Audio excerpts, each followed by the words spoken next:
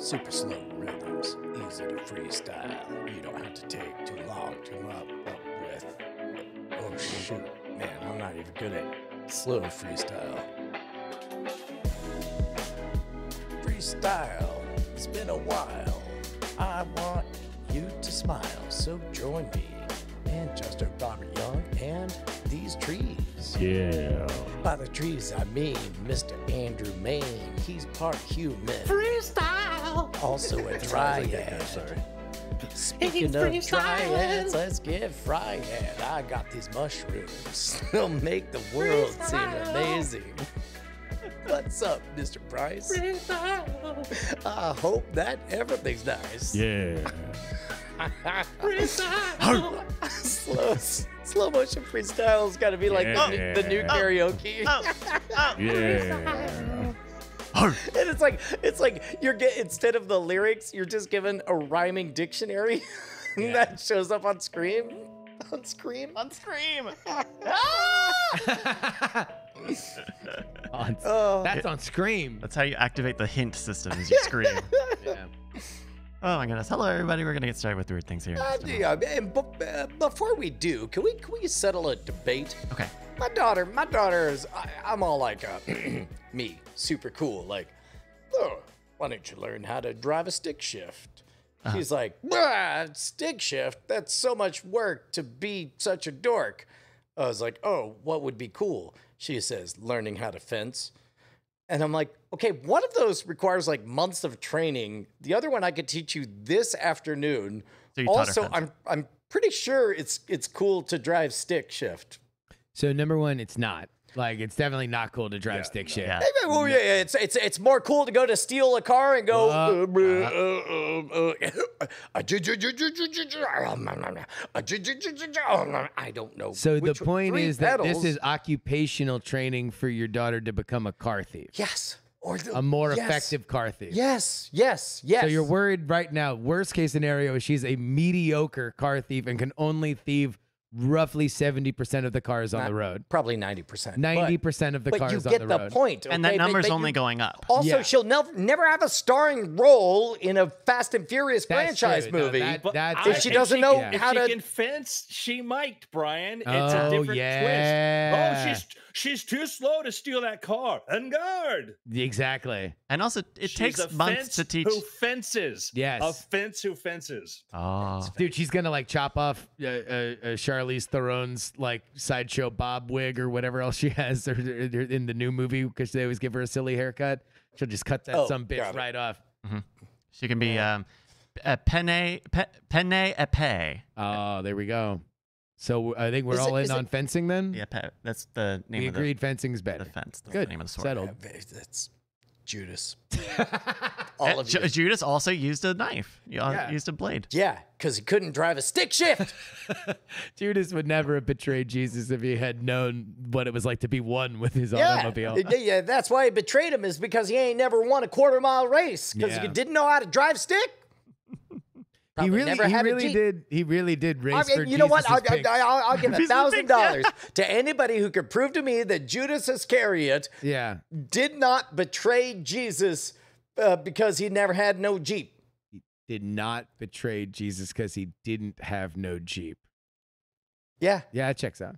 Okay. Yeah, that cosine. Hello, everybody. All right. Hello. Um, I ooh, I forgot to hit a button here. Give me Oh. one extra few minutes here.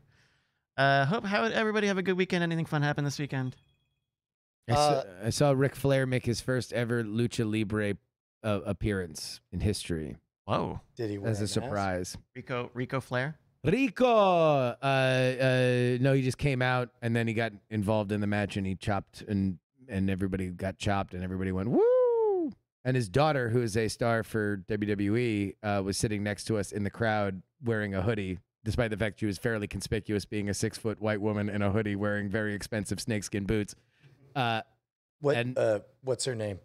Charlotte, Charlotte Flair, and uh, she, um, I, I, po- I poked my, I, I elbowed my buddy who was at the at the match with me, and I just kind of like gave him a sly point, Mm. uh, and he goes, "You think that's Charlotte?" and I'm like, I'm like, it's just, uh. Ma'am, like- excuse me. Yeah, excuse me. Do no, you know then- Mr. Flair? Then he goes, "No, she's not that short." then she made her way You to think another. that's row. Charlotte? Yeah. Charlotte Flair? hey, Ric, you know that you know the daughter Hey, you're your looking daughter's here. Well, look at this. Yeah. So that was a, that was a fun thing that happened Uh, on Saturday. was this a person that works in the industry? No. See, that's it. Is like for people who are outside of like TV or film and stuff like this. Mhm. Often, when they see people, they don't realize they're not on a screen. That person's in front of you. Yes. You know, Yes. I not, remember- not aware they I may have walked in the middle of something. Yeah, they can hear you. You know, I remember I'm walking through an airport one day. It was like early in the morning, and I see this uh, tall black guy pushing the stroller of this kid, and he is exhausted. He is exhausted. This guy looks like he's been traveling all day and just pushing this thing. Like, uh, and I'm like, huh, looks like Montel Williams. Cool.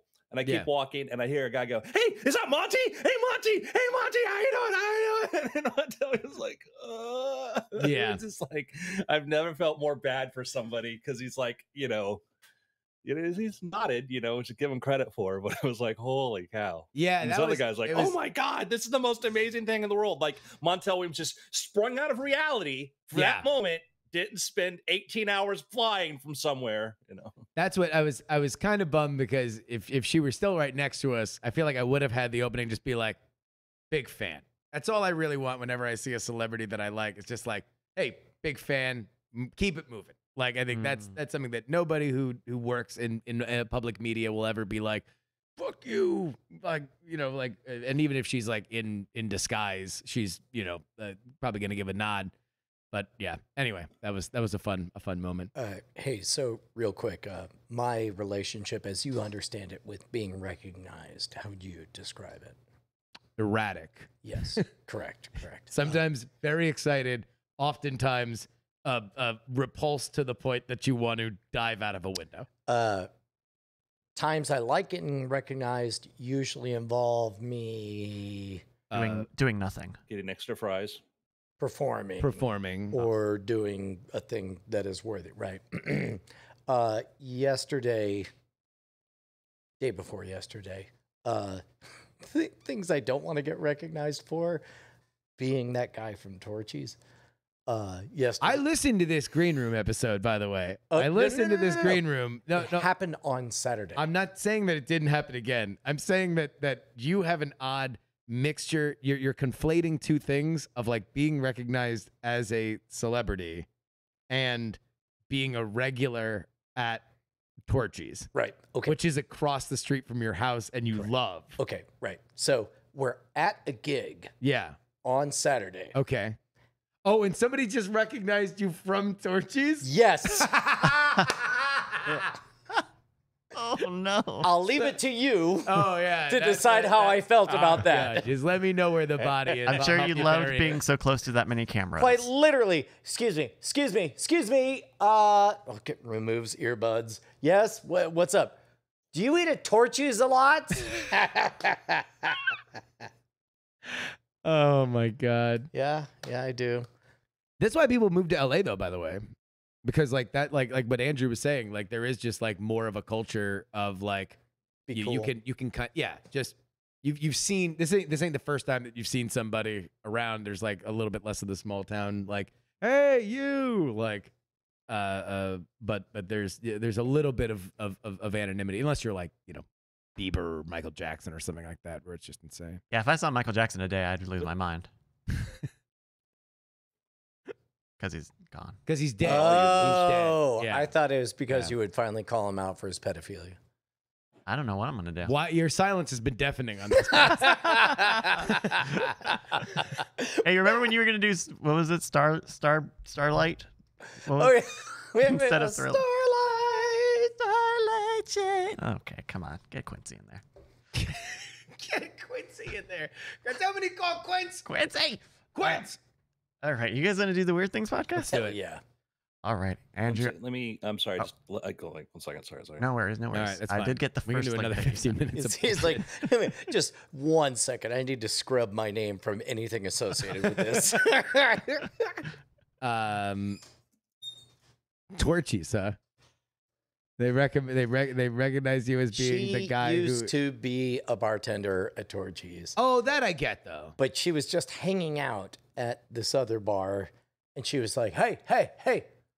Used to hang around Tor- Torchy's a lot. I'm like, still do. No, that's She's that, like, that I Well, actually now now I'm here, and I'm like, cool. No, but you want to know what? I actually, uh, uh, I feel like that gets a slight pass in that the relationship between bartender and regular is is an odd one because it's very warm, Yeah, but it is professional. professional. Uh, but at the same time, if Eh, you're sometimes. if you're in, well, exactly, because it can very easily pierce that veil of like, oh no, we're friends. Like it wouldn't be shocking if you were like, if somebody was like, oh, I'm really into this thing you're into. Like, oh, if you give me your social media, I'll I'll send you this stuff or I'll I'll, I'll tag you when I find stuff. Blah blah blah blah blah. So it's like that was a, an attempt by her to be like, oh wait, are we like, we've talked so much at Torchy's, like now are we outside the bar friends? And I think she probably didn't factor in the vector that you Body- were also body- shooting. Body posture matters a lot in these things. Wait, what was she doing? Hey, hey, hey. You, you used to go to Torchy's a lot, huh? Yeah. All right. I all right. I'm, I'm having a hard time figuring out where the bartender is coming from the position of power in this situation. Because she's not tending bar. She is a I mean, patron at the bar. sure, Who's calling But you're me not out. tending bar either. no, I'm trying to buy a courtesy Diet Coke because I wanted to use the pisser at this other place. Yeah. Because we're shooting at a taco truck uh, in the same park. Yeah. And uh, and I'm like, yeah, I, I still do go to Torchy's. And she goes, yeah. I thought feel so." like we should cut to video of Afghanis clinging to the airplane and trying to escape their country as we go. Alright. As we go, not you know, none of us laughing at the plight of it as we go through our problems. Yes, exactly. I exactly. got recognized by the. It's a Larry David episode. It, i- it is very curb your enthusiasm. It- it's out of context. That's the problem. Alrighty, are we uh, ready to do the, pro- the program, Andrew? Now all Ready. I can think of is the curb scene of just like, it's the posture. How are you gonna do this? It's a power posture. It's a power posture. hey, aren't you the Scam School guy? Okay, that's fine because yes, I am. Uh, why, yes, Okay. a half billion people know me from that. Uh, good on you. Bye. Didn't, didn't you sell me a computer on Dell? I I think you're thinking of the dude you got a Dell guy. No, you say your old Back career. when you were selling. Didn't you sell me a computer Yeah. from Dell or Were you- something? were- Didn't did you ever to you on work at Dell? once? I may, maybe man. I've, I've been around. That man is dead. That that man is long dead. oh, oh, I'm sorry. Are you calling Brian Brushwood from Dell? Well, he can't come to the phone right now Didn't because you he's pee your dead. pants on the swing set in the fifth grade? This is that small town stuff, man. It's like like like you may be valedictorian, but if you pooped your pants in third grade, Oh, you are. Oh, you are walking across that stage. Hey, it's yeah. No, It- uh, it- uh, it- Poopy McGee. 30 year reunion, you return with a Nobel Prize. Poopy's here. Yep, yep, yep, yep, yep. All right. Yeah, I like the reminder. Brian was a normal guy once in the chat.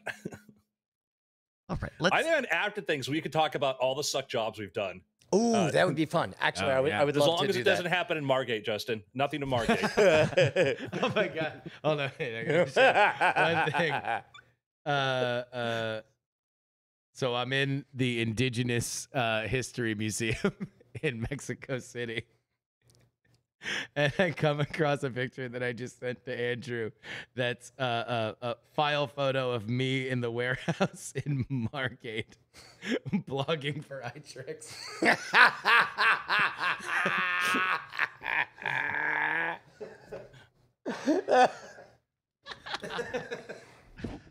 oh yeah.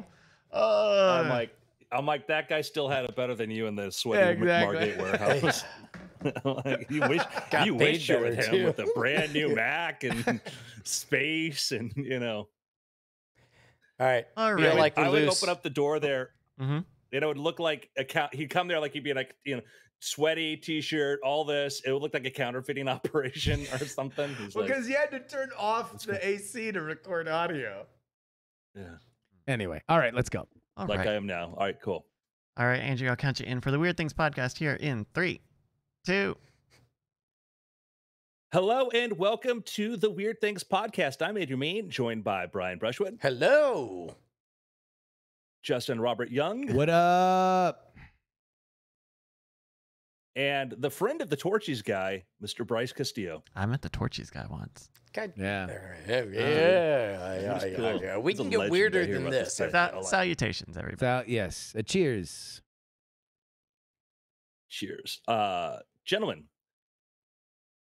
I want to talk about this would be it'll be a pick, but I want to open up this because I think if you have anything, if you have any interest in SpaceX and Starship or anything like this, I cannot recommend this enough.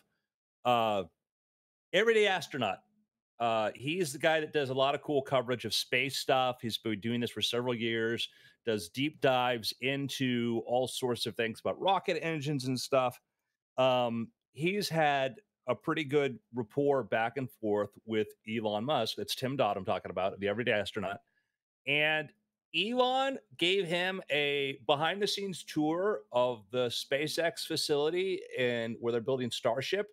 And it's in three parts. The first two are each an hour long, and the second part's half an hour. And it's just Elon walking around the facility, explaining things, talking about production, talking about rocket engines if you're into that kind of thing, it's amazing. If you're not, just fast forward. So It this- is- So it- this is literally just a guided tour through the Starship facility with the guy asking questions to Elon, and uh, uh, I guess we're seeing some on-screen graphics to kind of illustrate what this uh, uh, what what this looks like. But that's that's amazing access. That's insane access. incredible. Yeah, exactly. And Elon, not and Tim doesn't even have to ask that many questions because Elon, Elon wants to share. Elon Yeah. wants to explain things.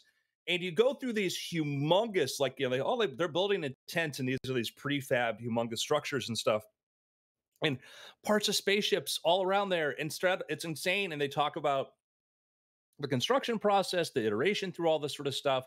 Really, really specifics about you know rocket engines and uh, ISP, all these other sorts of things about this, you know, the how they're iterate on this. And it's just you sort of you go, cool, it feels like an industrial tour. Then like, you're like, those are all parts of rockets. It's like that scene from the JJ Abrams Star Trek movie where you see the, you know, the Starship Enterprise being built. Yeah. It's pretty awesome. So again, if you're a space nerd, really, really, really, really recommend this. Elon goes into also, he talks about his five pieces of advice about manufacturing or building things. And he's very, he'll say this. The guy is an eccentric to be sure. But when you listen to him, you know, he points out, he goes, Well, I did this wrong. I did this wrong. I thought this was important. I realized I completely screwed this up. He talks about like the Model 3 manufacturing. He has these five points that he makes, which uh about you know simplify, then you delete, then you optimize, then you accelerate, then you automate. And he's like, Yeah, the Model 3, I did them all in reverse, and that was a problem. And you know, I forget my own rules and stuff. And so just just really, really highly recommend checking this out. Uh, I- We've yet to see the Jeff Bezos tour. I, I I will say that's that is something that is amazing about new media that you know in in a bygone era that would be I mean what a a a 60 minutes piece that would probably be boiled down to like you know maybe like 10 like, minutes or whatever uh, uh, with 75 lawyers clearing everything between point A and point Z. Yeah, I mean, and, and let's say that Elon is totally open and he's waving everything and he's just like, nope, just shoot and edit it and everything. But it's like so much would get left on the cutting room floor. You'd would probably be intercut with another interview with Elon, and in which you know uh, something else might uh, take the conversation somewhere else. But uh, there's such a tremendous worth to literally just watching. You know, him him walking through there is content is is great, super rare content and it's just it, it never ceases to amaze me the kind of whenever new media sort of pioneers or or does something that like just seems obvious which is hey why don't we just follow Elon Musk around talking about this like you know generationally defining uh, a space vehicle uh, Is it worth, and maybe this is more of an after things topic, but it's like as a heuristic, it seems like a pretty good idea to just have no filter. Because on the one hand you're going to say a lot of things that'll get you into trouble but you will never ever have to remember what you said before. Because you will always just say whatever's on your mind at any given time. Uh, uh, justin and i over lunch were talking about political figures and their machinations and keeping their stories straight and all that stuff like you, you just don't have to do that if you just run your mouth off which uh, again not to make it political again but i think that's that's that's what donald trump did and and what got him into trouble uh, but also also got him a pass on so many things. Yeah, I mean, I, I think in in general, uh, and to kind of go wider than than politics, and you know, having a free tongue is, uh, I think, certainly more interesting. Uh, I think where, uh, even people like Elon have gotten themselves in trouble is is when that crosses over into degrading the institution that they're representing. like as much as we you you know if, if you are a fan of twitter content then you enjoy when elon musk uh, weighs in on on the the issues of the day. Uh, or as as a fan of wacky things happening you think it's uh, hilarious when he takes a half uh, uh, puff of a uh, of, of a blunt on joe rogan. Uh Andrew, as a as a uh, a, a Tesla stockholder, uh, uh, after after it dipped in the moment, not a particular fan. Could could have could have done with that rest of that Joe Rogan thing, and maybe not the puff of the blood. I I hear. you. I would say to Brian's point, I think there's a difference between there's being saying things what you think, and then there's obviously realizing when not to say anything. That, and I'd say that like obviously you can say like with with yeah, Elon's fairly very very very open about stuff, and sometimes like you know sometimes we don't need to have opinions on everything. You know, not speaking him, but like I know myself because sometimes I have to. I'm trying to learn to be more, eh, whatever. But like I do agree to the point though that like uh it, it- it's there's the caricature of who he is, and then if you just see what he's where like you know the arrogant billionaire, I'm like, you know, I listened in one hour, you know, him spend a considerable amount of time talking about billion dollar decisions he made that went the wrong way. That said, no, this is the wrong way to do it about stuff, and that was what impressed me was the fact that like that transparency, that openness, and not not let me not shy away from my mistakes publicly and private. And there's of course sometimes times when you sort of maybe don't show that, but like I think there's a tremendous value to it because you kind of feel like what he will tell you privately is what he'll tell you publicly. Yeah. Uh, uh, but in general, I, I do think Brian, what what you're saying is the trend.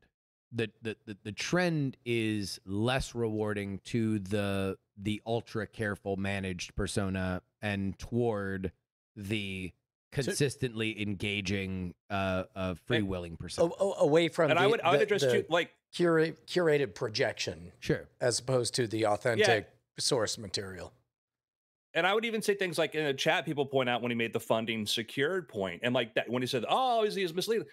He and this was testimony. This was disputed. He'd walked out of a meeting with one of these, you know, one of these big, huge foundational fund, one of these dynastic foundational funds that had said, "Yeah, we'd be interested in taking you private, whatever." And you, he thought that was the deal. He thought that was their deal. Was did that meet the SEC threshold or whatever like that? Maybe not, but that wasn't a case of where he just made something up. He'd had a meeting like there is these there are incredible amounts of capital that are in these different you know places and it would have been a great deal for them had they done that you know um you know but the point was is he was speaking sincerely like oh yeah i think they're sincerely we could do this and so you know of course you know, when you're dealing with you know billion dollars and billions and billions and the fates you know fortune, fates and fortunes of many and you have stakeholders and that is the issue it's how does it affect your stakeholders Exactly. I- I- I- it's the institution, and that that really is where I think the modern the modern line is being drawn. Is like, uh, okay, keep it interesting, keep it exciting. Uh, uh, uh, the more open you are, the more people will, will reward you at the very least with attention. You know, uh, we'll, we'll you can figure out later whether or not it's positive or negative.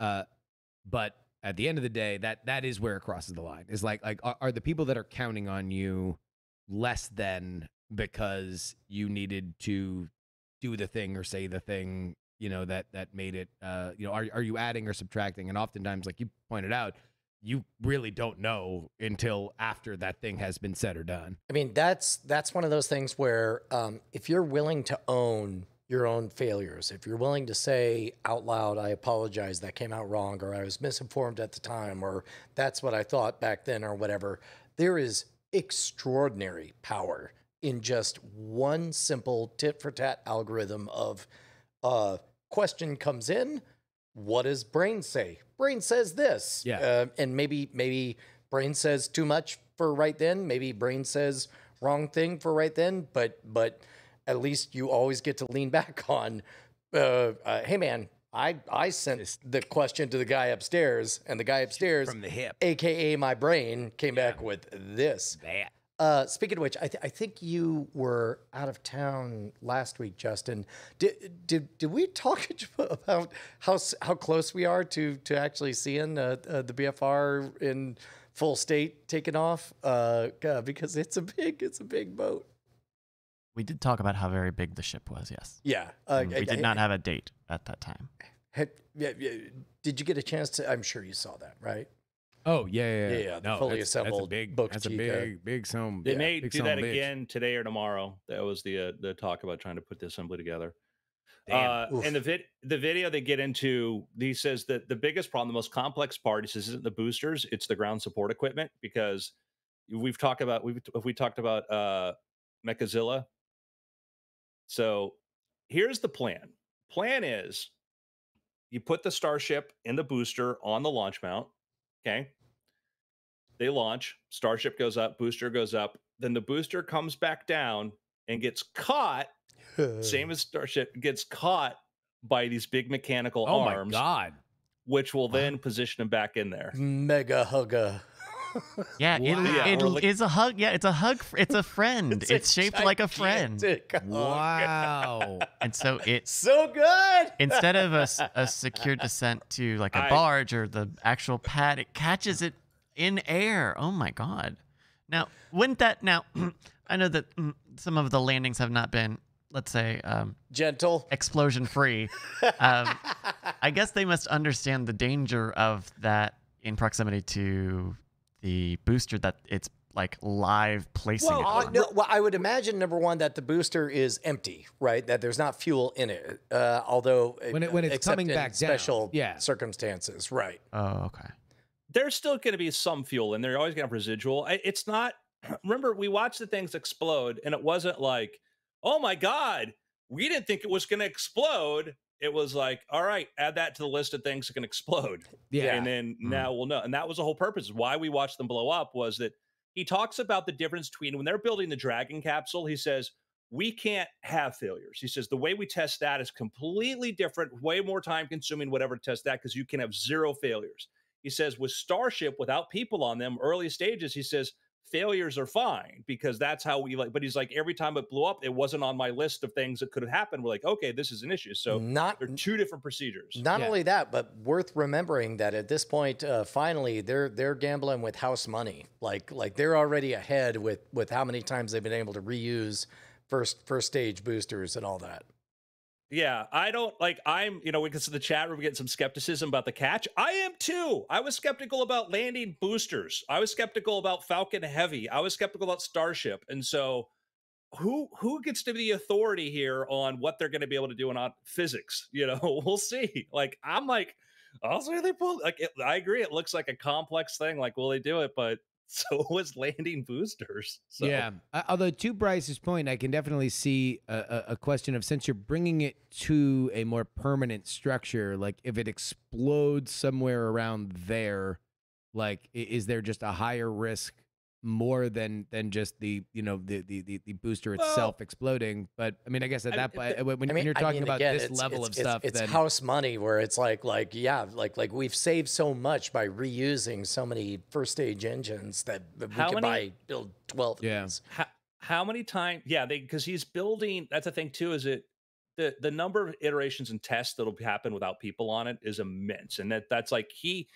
in the talk in the video he goes into the whole thing of like you know designing one or two is e- building one or two is easy building a, a manufacturing process and the cost per engine that they're reducing it to is insane like we're paying something like 180 million dollars per like engine that's a go on the SLS and granted those are big ass thrusters but like the cost he's talking is like two hundred thousand dollars or something, extremely low. The fact, the order of magnitude that he's trying to produce, because he wants to produce them in mass. They walk into a tent and there's 12 of these engines there and like yeah these are the version ones we've got the version two coming out soon that's more streamlined and like these are like a year old it's just Yeah. a year old and already like but he is this is a guy that's you know there are three quarters of a million tesla cars on the road and this is a guy that learned hard lessons about this and now he's applying it to rocket engines because this scale is it's not like i'm going to build one starship and it'll be cool Yeah. it's like uh the other thing to think about too is do you know how many times the space shuttle uh went into orbit with uh uncrewed so we could test it correct zero zero never always tested with people on board because you couldn't test it any other way and out of like 138 launches we had two were fatal Yeah.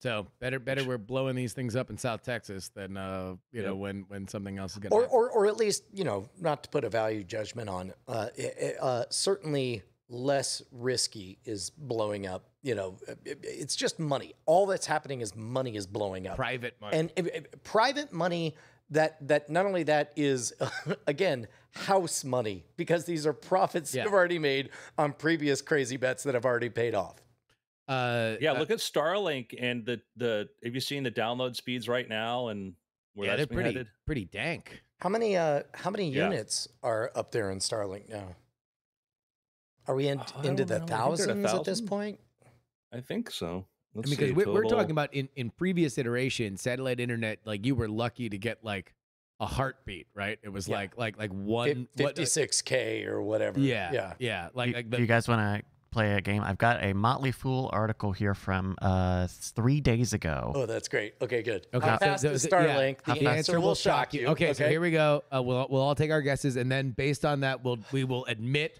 factually whether or not we are shocked. Okay. Also, Up and uh, down, uh, uh, up and uh, down. Also, uh, uh, or I guess three numbers: up speed, down speed, and then also latency. Because um, I think I've only got download speeds. okay, all right. Okay. Well then, How about one number download, download speed? speed? Um, forty megabits. Brian says 40 megabits. Megabits per second. Ninety-five. Justin says 95 megabits per second. Andrew. I already know this number Oh, okay. Uh, I, uh, I, My answer is the answer will not shock him. I've, I've had to look on the page enough times, so I think I'm, I'm spoiled as well. So earlier this week, speedtest.net reported that the median internet download speeds on Starlink Median. uh, have increased by 50% uh, from the first quarter to 97.2 megabits per second. All right. That all is right. slightly slower than 152 Uh, megabits, you know the what? You're right. speed for I fixed was, broad- I was broadband. shocked that everybody was fixed on this, and that this is a lie of a game, and everybody already knew it. I didn't know So- it. No, no, no. That's that's so- amazing though. Let, let's get into the big issue was is latency right and the big deal was the problem like how to be a tech investor study things so that when people hop on cnbc and start talking when analysts talk about it and you realize they're idiots and they don't understand what they're talking about because like oh we'll start with this like well, the problem with satellite internet is the latency issues like well they're low earth orbit. Well the problem with satellites is this. So if you have like it goes like HughesNet and Viasat, those things are out there and like like geosynchronous, they're much farther out orbits, right? Some are like their orbiter paths are like extremely out there. And and, and to, late- to put it in perspective, I mean, this goes all the way back to when I was in college, and and I was one of the very first uh, uh, customers of. Uh, uh, before it was even called HughesNet, I think it was called Direct PC or something. But we, you know, propped up on a couple of um, uh, uh, uh, cinder blocks, we would find the signal on there, and we were able to get 1.5 megabits download, but like two seconds of lag. So Gotcha. so it was utterly unplayable for any kind of like Gaming. online Yeah. gaming or any of that stuff.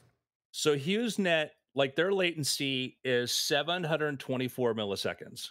So almost like a second, you know, 724 milliseconds to this. Okay. Whi- Which which in video game terms, um, if you, if you want to be competitive in Overwatch, you should probably be around 20 milliseconds, give or take. Uh, Yeah. uh, if you are on a dial-up modem, 100 to 200 milliseconds. Yeah. This is 700 milliseconds. Yeah. So yeah. So Starlink, Starlink is getting. They think they're going to improve the latency even more as they put more satellites up. Et cetera. Right now, it's 45 milliseconds. That's not bad. I play. I I uh, I'd play that Hearthstone for a dollar. Yeah, I was gonna say Yeah. that's that's for for all but the super fast Twitch like FPS kind of stuff. Then you're you're pretty much good to go. Yeah. like even for video games. Yeah. like if you're just you know getting you know a, a multiplayer for information for anything You- other than like I- COD or Overwatch or anything. To to the best of my understanding, we're if you're talking about like a web surfing experience, you're probably roughly at like a Holiday Inn Express, give or take, uh, as far as latency. Uh, uh, uh, band bandwidth, you know, being different, where it's like you know. Uh, uh, you're not going to have to wait for a movie to buffer or anything, but but if you're just jumping page to page, but to also like we're we're talking about this is like in the middle of Joshua Tree. oh yeah yeah, yeah. Like like that's But like, no, no, yeah. no, no, I, I, I don't mean to take anything no, no, away I know, from, I know, from but I, I just, I just want is. to just yeah. again, like let's let's highlight the fact that uh, this uh, is anywhere. Right. Yes. Yeah. And and and you're not like, you know, uh, it in in a world where now 5G has gotten so good that you're able to sort of propagate that without having like set wires and everything. Like if if, if satellite internet is good, it's good. Yipes, stripes. That is, I mean, we've uh, God, Andrew and I have been talking about like WiMAX and and the future of internet connectivity for forever. I mean- and like this this is the closest that we have that we have gotten to any kind of world where you know you don't have to deal with these like weird monopolistic deals that are made between telcos and cities and, and counties uh, to get internet everywhere. Well, the, the the challenge is going to be I don't know if there really is a path forward to do like I think they think their max amount of people they'd be able to handle the United States to be 30 million. Mm. Um, just because it's just their you know their goal and and I read a really interesting article too that talked about like there is this like every every every every bill you pay for internet service there's a tax there's like a fee that goes on there to provide internet for like rural services and stuff and this is now in the billions of dollars that's there yeah. and that part of the play that's uh, SpaceX may be doing a Starlink is that they're they've already bid on providing internet service to a number of these communities that don't have it, and that's when there's a trade-off. People point out like you know these all these satellites up there, it, it make it's it can be bad for certain astronomical observations. That is true, but there's also like children out there in Indian reservations and places that don't have access to internet because it's too costly and they can't bring it out there. That all of a sudden are getting really cool video conferencing, et cetera, like this, and so it's like there is there's, There's a a, there is a yeah And, and, So, and wait, hold on, hold on, hold on. I have a very important question to ask that might involve me just trying to sign up for Starlink in the next five seconds. If there's only 30 million people that are going to be able to use it, should I get an account like now? yeah I would. Okay. I mean, uh, well, I, I I don't know. How much time do you plan to spend outside of a 5G network? How much would I be a pouting ass sad boy if I wanted to spend a bunch of time outside of a network and I didn't have Starlink? Yeah, but you won't want to. Al- al- Also, that that trade off of of let's say the visual noise is is a hundred times worse than we'd imagine. Just you look up at the sky and it's nothing but looks like highway lights going to and fro or whatever. Uh, the trade off is the entire planet now has access to the greatest space telescope ever created. You know, and it's like uh, all of us can be astronomers now, whether or not we have a piece of you know glass in our Damn. backyard or whatever. By the way, Starlink, I literally just entered my home address and it just is a page with a big Apple Pay button, like right there. So slick. okay. Just saying. I just appreciate I appreciate easy ways for me to get things I want. I won't buy it. Right You know, now. it's easy, and you can get what you want. yeah. Is if you consider supporting weird things. Patreon.com slash weird things is where you go if you want to make sure that I can uh, buy my unnecessary Starlink. Uh, uh, I won't be able to do it unless you pay us money directly at patreon.com slash weird things. Make sure that we keep coming in here each and every week, except for last week when I wasn't here. But uh, except for we still showed up, didn't we? you guys did. You Yeah. to know what? And that's that's what matters because uh, everybody is committed to bringing you this show each and every week. Also, uh, patrons get the after show after things uh, before anybody else. So head on over there right now, patreon.com slash weird things. Yep. Andrew, before we go any further, uh, uh, were, were we going to do a Nelson laugh at Boeing? Can we do a Nelson laugh at Boeing? I you can. I I just feel sad. Boeing. I- Go uh, ahead, tell them. I mean, our, our our official uh, position is that we don't like laughing at anyone's failures when it comes to trying to make it in space. Uh, And however, our tax dollars. having said that, um, if we did have an acerbic part of our brain, it might right about now. Ryan, you could just.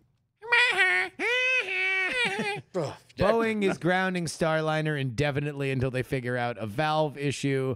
Uh, uh, Andrew, can you put into context what Starliner was supposed to be for Boeing? So NASA, uh, NASA, when they wanted to bring back, you know, right now NASA, since the retirement of the space shuttle, we had been dependent upon the Russians to deliver astronauts to the International Space Station, which it was helpful in the interim, and it's nice to have access that way. But you really not the optimum way to get your astronauts up there. You want to have multiple ways, not just a shuttle or Soyuz, whatever. So NASA had created this, said, okay, this was a really uh, brilliant plan. Uh, both uh, Bush and Obama era was the idea of let's have NASA instead of saying specifying what vehicle it has to be and designing the rocket, doing anything else like they are doing at the SLS, just say we will pay you a price to deliver astronauts to the space station. We don't care how you do it. Well, within these parameters, you know, basically, no, don't put them in a cannon and launch them at it.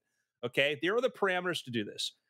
Boeing had campaigned heavily that it should only be one company. They should they should fund only a single company, i.e., Boeing. Boeing had campaigned, had lobbied. You can go back and do a Google News search for this, and you'll even see senators saying, "Oh, it's a horrible idea to go on untrusted. We should just go with the, the best contractor, uh-huh, Boeing, etc." Okay. So that's part, it's hard to feel too bad when they had campaigned so heavily in trash talk SpaceX about when NASA said, no, we're going to go for multiple bids. And they had multiple bidders in there. There was SpaceX, there were other companies that wanted to go bid it. Boeing and SpaceX both won contracts to send astronauts to the space station. They have to do qualifying missions to do this first. SpaceX built Crew Dragon. Boeing built Starliner, which is going, which you know goes atop like an Atlas rocket. And there was this debate who is going to be first? Who is going to be the first to send astronauts? This because a big deal was the bringing back this flag that we took in from the space station when we had the last shuttle mission there and then like to return the flag was going to be this big thing. And i remember you know three four years ago like will boeing do it first or will spacex? And you know boeing's dependable and has been doing this for years. As you all know spacex has been going to the international space station since last year Boeing had to do a qualifying mission, an unmanned qualifying mission with Starliner, which was going to do an intercept and a dock with the space station. They went to go do this last year, well after SpaceX had already been putting people on, you know, had, had passed its qualifying. Boeing Starliner goes up. They had a mechanical malfunction and it wasn't behaving the way it was supposed to do, and they had to bring it back down, which was a big error. Boeing was like, oh, well, you know, we think we know what the error is. We think we're good. Let's go ahead and move to the part where we put astronauts up there and go to the International Space Station. And NASA's like, that's a horrible idea. Yeah. And we we give you a lot of credit for, you know, we'll go we go a long ways, but no, you got to do this qualifying mission again before we put astronauts on there. So this last past week ago was going to be the qualifying where they're actually going to try to orbit and go to the ISS. Well, it never left the launch pad. They had to add a little delay because of the whole Nauka debacle, which we'll get into in a second because an update on that. And so they had a you know the little delay, and then they were doing some sort of checks, and like, "Huh, we're having some sort of we're getting some mechanical error." And like, what do we have to do? Like, well, maybe we have to pull it back into the assembly, the you know, vehicle assembly building. They pull in the vehicle assembly building to check it. They're like, no, we got to take this off the rocket. This is we've got 12 valves and some of them are still stuck and we don't know why they're stuck. And now they're like, we've got to bring this thing back into the factory. And now they're saying we don't know when. We're like, well, uh, it'd be. They're like, we'll be. It'd be fantastic if we launched this year, which means they ain't launching this year. wow. I joked that Starliner was going to have its first successful orbital mission before. I mean, I joked that Starship would have a Yes. first successful orbital mission than Starliner. Now it looks like that might actually be a real thing. Hey, uh, do you guys remember that last scene from Unbreakable when uh, uh, uh, Samuel L. Jackson says, "Now that I know who you are, I know who I am." Yeah. Uh, new sentence. You ever you ever been to a Harlem Globetrotter show? Uh, A show. Yeah. yeah, Yeah, they. I yeah. mean, they It's a played someone. The Washington Generals. Oh, that's right. I, I, Yeah. I wonder what. Uh, uh, I'm glad that the generals keep showing up for those shows, because otherwise I wouldn't know what I was watching. Yeah. Okay. in meantime, uh, totally unrelated, uh, but uh, Blue Origin is filed lawsuit a lawsuit to, against NASA today because of the, the HLS, Oh, because- the, the the lunar system. because Because- sounds because- because because the their band- name sounds too much like nassholes, and that's and they want to be the assholes of space. so Wow. was okay, the- so that this was- is yeah, this is a big a big a big contract dispute that uh, uh, uh Blue Origin had teamed with another company and and SpaceX got it. It- Every it, it went back under review, right? And then SpaceX got it again and now now Blue Origin suing. So there was this contract to return American uh, return Americans to the, the moon. And again, NASA said, let's do the thing we did with the crew, the, the whole crew thing, because the like now it's like, this worked out really great with one company. Yeah. Uh, let's go do this again. We'll ask a bunch of companies, and they were they'd said in the contract, depending upon funding, we might fund multiple companies. So there were three funds that came, three plans came in. One was SpaceX, then there was Blue Origin, and then there was uh, uh, which I always never pronounce the name wrong. And they did their evaluations of it. And if you didn't even look at the price, SpaceX had the best evaluation yeah. because they've been working NASA's like their relationship with NASA has grown considerably. You know, there have been SpaceX is open about how much they've learned from NASA. NASA's learned to sort of adopt to sort of like kind of SpaceX's way of doing things and sees as there's some efficiencies there.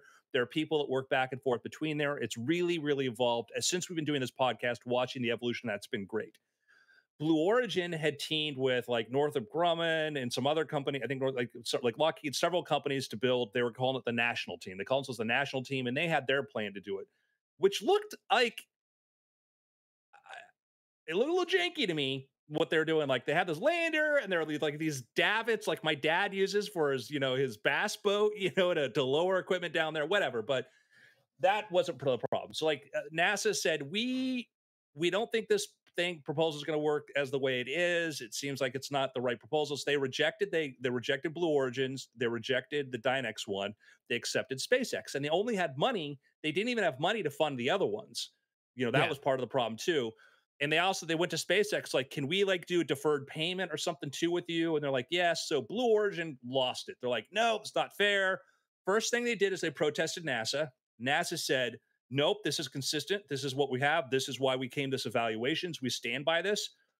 Then they approached, they went to the government accounting office, which is who oversees things in government. If you say, hey, this is not handled right, this is unfair, like contracting, whatever, it's their job to say, yeah, no, this is the way it's supposed to be. The GAO looked at it and said, no, this looks consistent to us. We think NASA handled this right. Everything said there's there's no reason for protest, whatever. So of course, Blue Origin's like, all right, guys, let's back to the drawing board. Let's just build some stuff. Nope. They said, let's sue NASA. We're So suing now NASA. I mean, I, and, and while we're on the topic of legal actions, uh, I'm I'm seeing here more bad news for Boeing. Uh, apparently being sued by uh, Rudy Ruettiger for uh, gimmick infringement, saying like like we're supposed to be the last place kids. it's a sports movie. Okay. The last place kids? Yeah. Oh, No, I've never seen it. Rudy. Oh, Remember, remember Rudy? the the sh- the movie Rudy. right, movie Rudy. that guy, Rudy Ruettiger. Yeah, but he eventually got on the field. Uh, Yeah. Yeah. They shouted, Rudy. It was like right, Rudy. but but but but meanwhile, he was last place the entire time. He was. Okay. and all he's, right. Well, so he's- we're, he's there's hope. Feeling like Brian he's feeling- says there's hope for There's Blue hope Origin. for There's Blue hope. Origin. There's Blue hope. Origin. There's hope for Blue Origin. it's like Were you uh, literally just looking up his last name? yes, I was. Uh, So- I- in fact, I would love to believe. I want to see the movie of this where it's just like, okay, here's what we do: we take your ship, ULA, and we're gonna duct tape it to one Blue Origin, Origin, yeah. one SpaceX, and we're just just for grins. Flying circles around it will be Sir Richard Branson. Yeah. and, and we're So- you did it. You went to space. and, and Blue Origin is like incredibly talented engineers, Yeah. and some of the hardware they built is is amazing. And and what they've done, it's just the time frame. And the problem is now they've been doing these infographics. Uh, they've done this infographic war, which like I've got.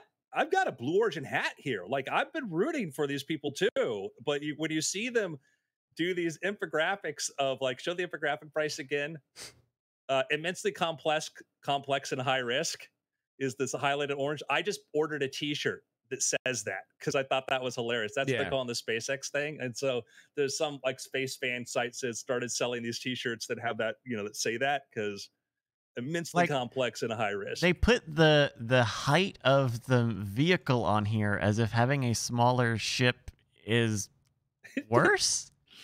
I guess it's it's a weird argument to make. You know, why would I want this big, large one? I'm happy with this small one. why would I want the one that's been tested and launched more times than not? Because um, right. So so which is the larger one? The yeah, SpaceX. sorry. Starship. Who's who's the good guy?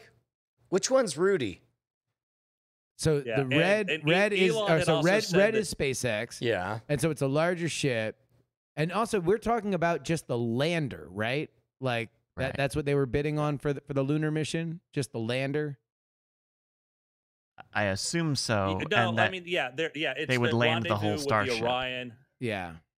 Yeah. So the the idea is that that this thing would go would go into lunar orbit, and then they would use like they would use SLS to send astronauts on Orion to intercept with the lander and then land. Which sounds and it's like SpaceX is kind of like like well, Elon, could you take them all the way? It's like well, yeah, but it's the whole it's the name of the game. Yeah. Um, so read read the description here and tell me if this makes you think it's bad idea or good idea. All right, so lunar starship, immensely complex and high risk. There's an unprecedented number of technologies, development, and operations that have never been done before for Starship to land on the moon. This includes de- Yes.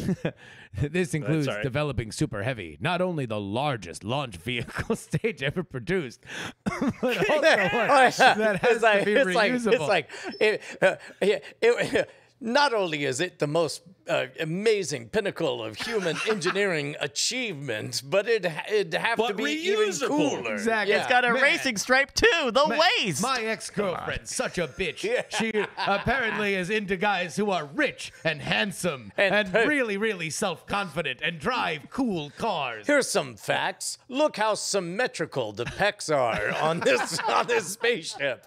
What a jerk, am I right? What naturally enchanting eyes on my ex girlfriend's new boyfriend. You know his dad only married his mom because she was hot, right? So it's that first. pick. Oh, I'm rooting for SpaceX. This sounds really cool.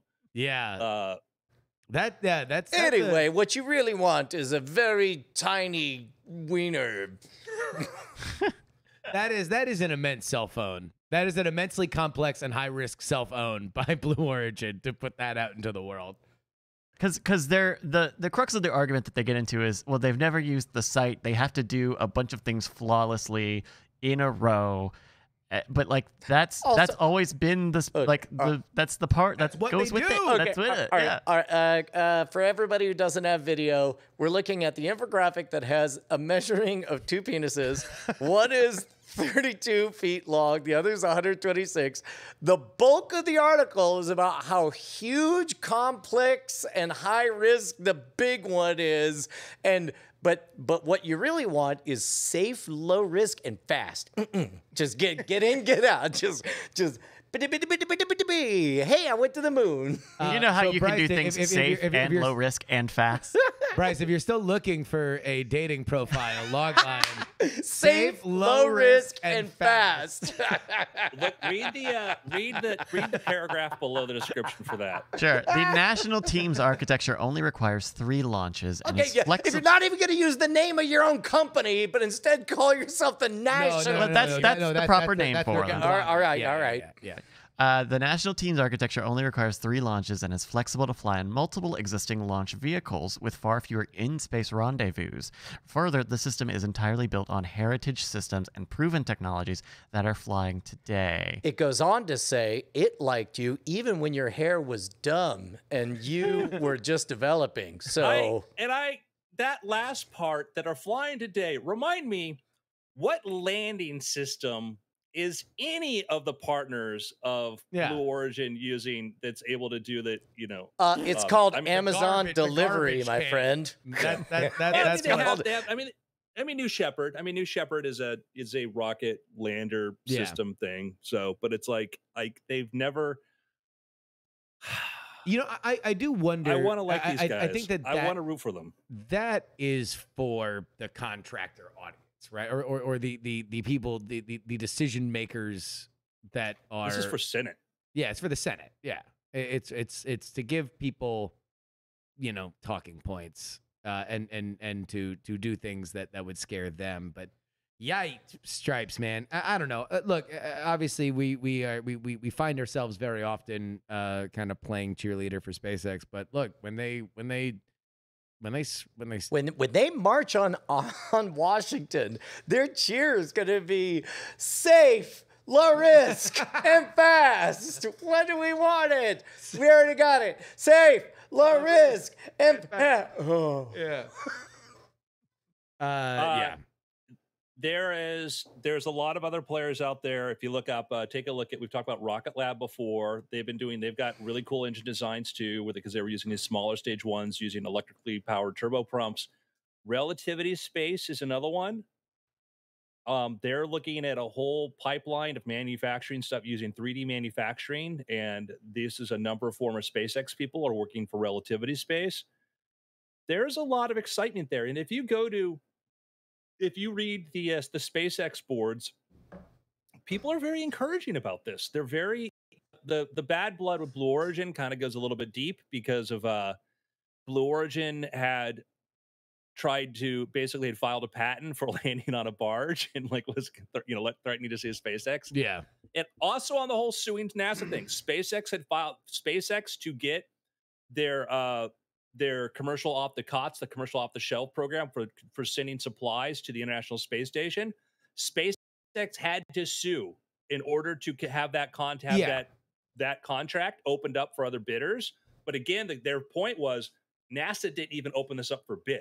Yeah, I, I, I think I think NASA opened up for Uh, there there there is something to be said about when you're dealing specifically with the government suing is not necessarily like me suing Brian because he didn't you know pay me back for for you know Torchy's or whatever Yeah, like you know why? Because I'm safe, low risk, And and, fast. fast. uh like like that often is like people inside the government like entity will tell you you have to sue us so these things these like gears can start turning and and things can can get moving so uh the the thing that's odd about the blue origin thing is that it comes after not one but two formal appeals uh, uh to not only NASA but also the government accounting office so that that that is kind of what makes that interesting in a way that uh you know if if they were just suing them for a a a general bidding issue uh, it would be a bit of a different story Which if you take a look to a relativity space, go take a look at the rockets, and you'll see yeah, yeah, proof that people probably think SpaceX is on the right path.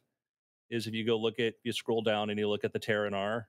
yeah and that looks Grid like fins. a SpaceX rocket. Yeah, which is great. I mean like that that- that's always been the um the, the the hope is that whenever anything succeeds that's you know carving a pathward forward uh a pathway forward so you can uh, uh, replicate it. Like now you just know okay well this works. How can we make it even better? And that's that's really where progress comes from go to and now go to uh, Rocket Labs and click on rockets. Click on the Neutron. We're gonna go. We're taking a look. Looking at. Oh, look! It's the same. It's the same rocket. uh, but that's that's amazing. The more people that can be making it, the the better the better we're gonna be. Wow. Yep. Yeah. Look at that. Yeah, and it, and it's not like Does that "Oh, have an Apple Pay ripping-" It's button on it too?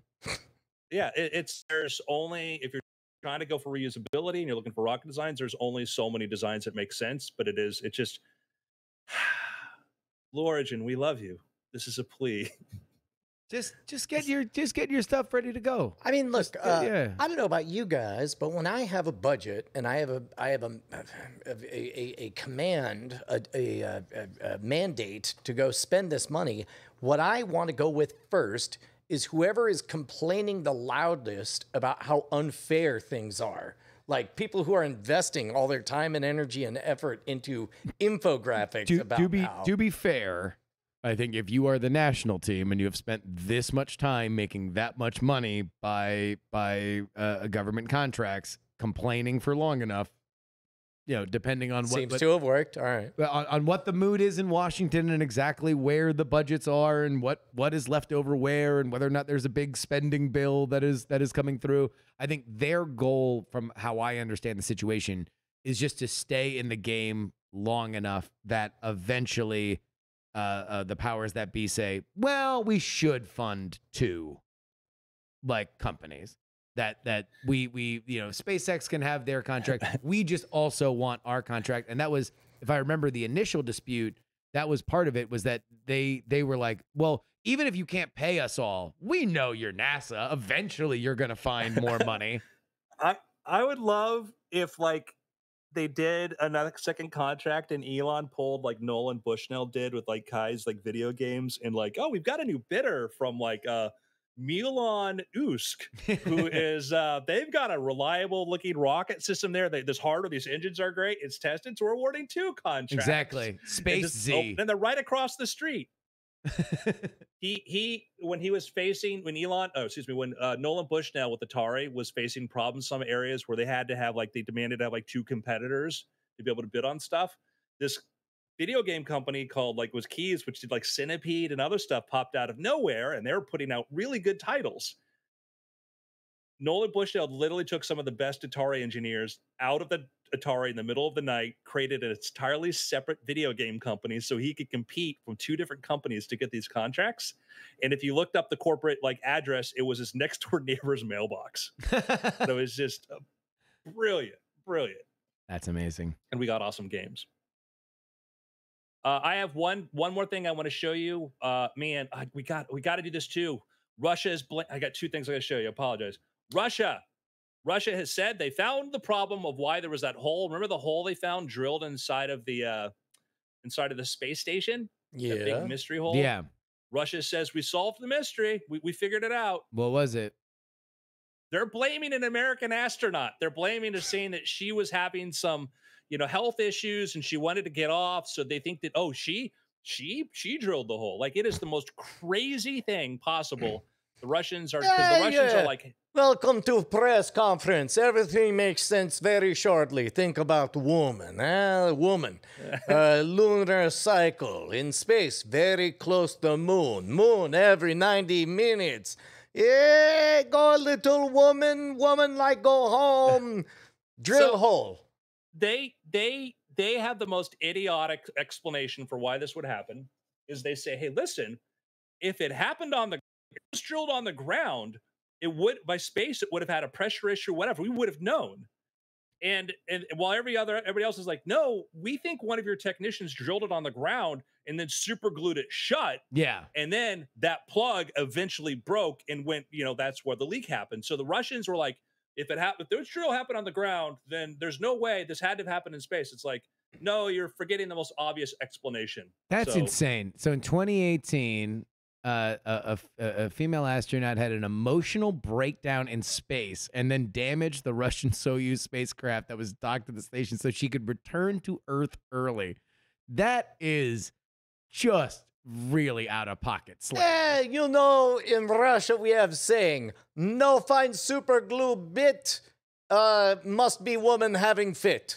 is old saying we have. Old Russian proverb. Hey! it is between the Nauka uh, debacle um,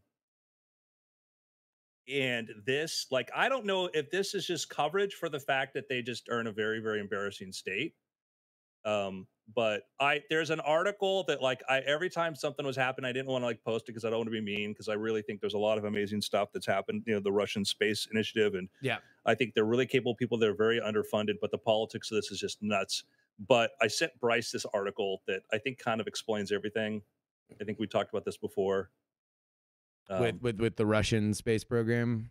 yes, yes. We'll see if we pull this up there because this this traces back to the original problem. I think we mentioned this on the last one. You weren't here, Justin. Uh, no, the other one, the uh, the Russian. I just sent it to you. The uh, And- the Onion headline. This was In the from 20 meantime, years we ago. go back to the live press conference with Russia. You, you, you hear about the American space pen. right upside down, zero G. In Russia, we use pencil. Ah. Hey, what what do you do Also when the no graphite? women. What do you do when the graphite breaks off the edge of the pencil and it floats around and gets in your eye? Uh, what do you do when your mother cries about what embarrassment you are, American piece of That's- that's- garbage? That's what I always hated about that. Oh, the Russian engineers, see, they use a pencil. Like, haha, we saw the pencil. Like, yeah, no, we used a space pen, so the little bits of a pencil didn't break off and you didn't have shavings. Also, I believe I, be- I believe the story goes that the Russians didn't even use a pencil for that exact reason, yeah, exactly. I'd probably use what it would. You would have used like a crayon, like like that a was the thing. grease pen or something. Yeah. and I've had people tell that story, like this is in Judy, and I'd be like, um, you know, the problem in space is Uh, so this is the Onion headline: Russian scientists announced six-month delay in carving new space station. this is from 1998. Show the photo at the bottom. Just it's just it's my favorite. so it's just like an, an, an artisanal wood shaver who is uh, creating the new space station. Look at Found it. There's a drill. There's the drill. yeah, we got him. Got his Yeah. ass. Uh, why do we want to go to space? Bryce, show some video from Skylab. We forget Skylab kind of gets memory hold. Skylab was awesome. Skylab was this, you know, the latter later stages of the Saturn program when we had the super heavy lift, when we could, uh, when we had a really heavy lift thing. This is what you could do in Skylab. Wow, that's great. And so We're looking at the interior of the thing, which is much, much wider than the space inside of the space station or the space shuttle. You're watching people do these acrobatics and floating around inside of there. The uh, starships can have a much larger diameter. There's a crazy, I think we'll see there, we'll see the guy running. He's running. Yeah, and so he is Because- is doing the like the the the, The- 2001: A Space exactly, Odyssey yeah. thing. Yeah, I believe It- that's that's where the inspiration came from. Yeah. Uh, also, uh, a, a friend of the show, Richard Garriott, his dad, I believe, was uh, served on uh, Skylab. That's awesome. Yeah, just so much interior space. I mean, again, they're using wide angle, but you look at they're able to do so much more acrobatics. The running was cool because it wasn't like in 2001 where they spun it. It's just because as you move forward, Yep. you're you're basically your momentum takes you straight, but you're because of the curvature of the spacecraft. yeah. And like I'd never seen that before. I'd never seen somebody actually running in zero G. That's awesome. Well, uh, uh, you know, maybe happy days are here again when uh, when Starship goes up. Shirtless guy in their boxer shorts, drifting around in zero Yep. gravity. Yeah, provided no crazy ladies with drills show up. Eh? Just a- just a- Crazy just a women with the moon. low risk and fast. Yeah, Yeah. see, that's why tiny ship is better. Guys ready for picks? Yeah. um. Uh, uh, so uh, Lower Decks is back, and it's good. It's fun. It's it's joyful. It's fast paced. It it Loved the first season. doesn't mess around. Uh, I I really enjoyed episode one of season two. I thought it was quite good.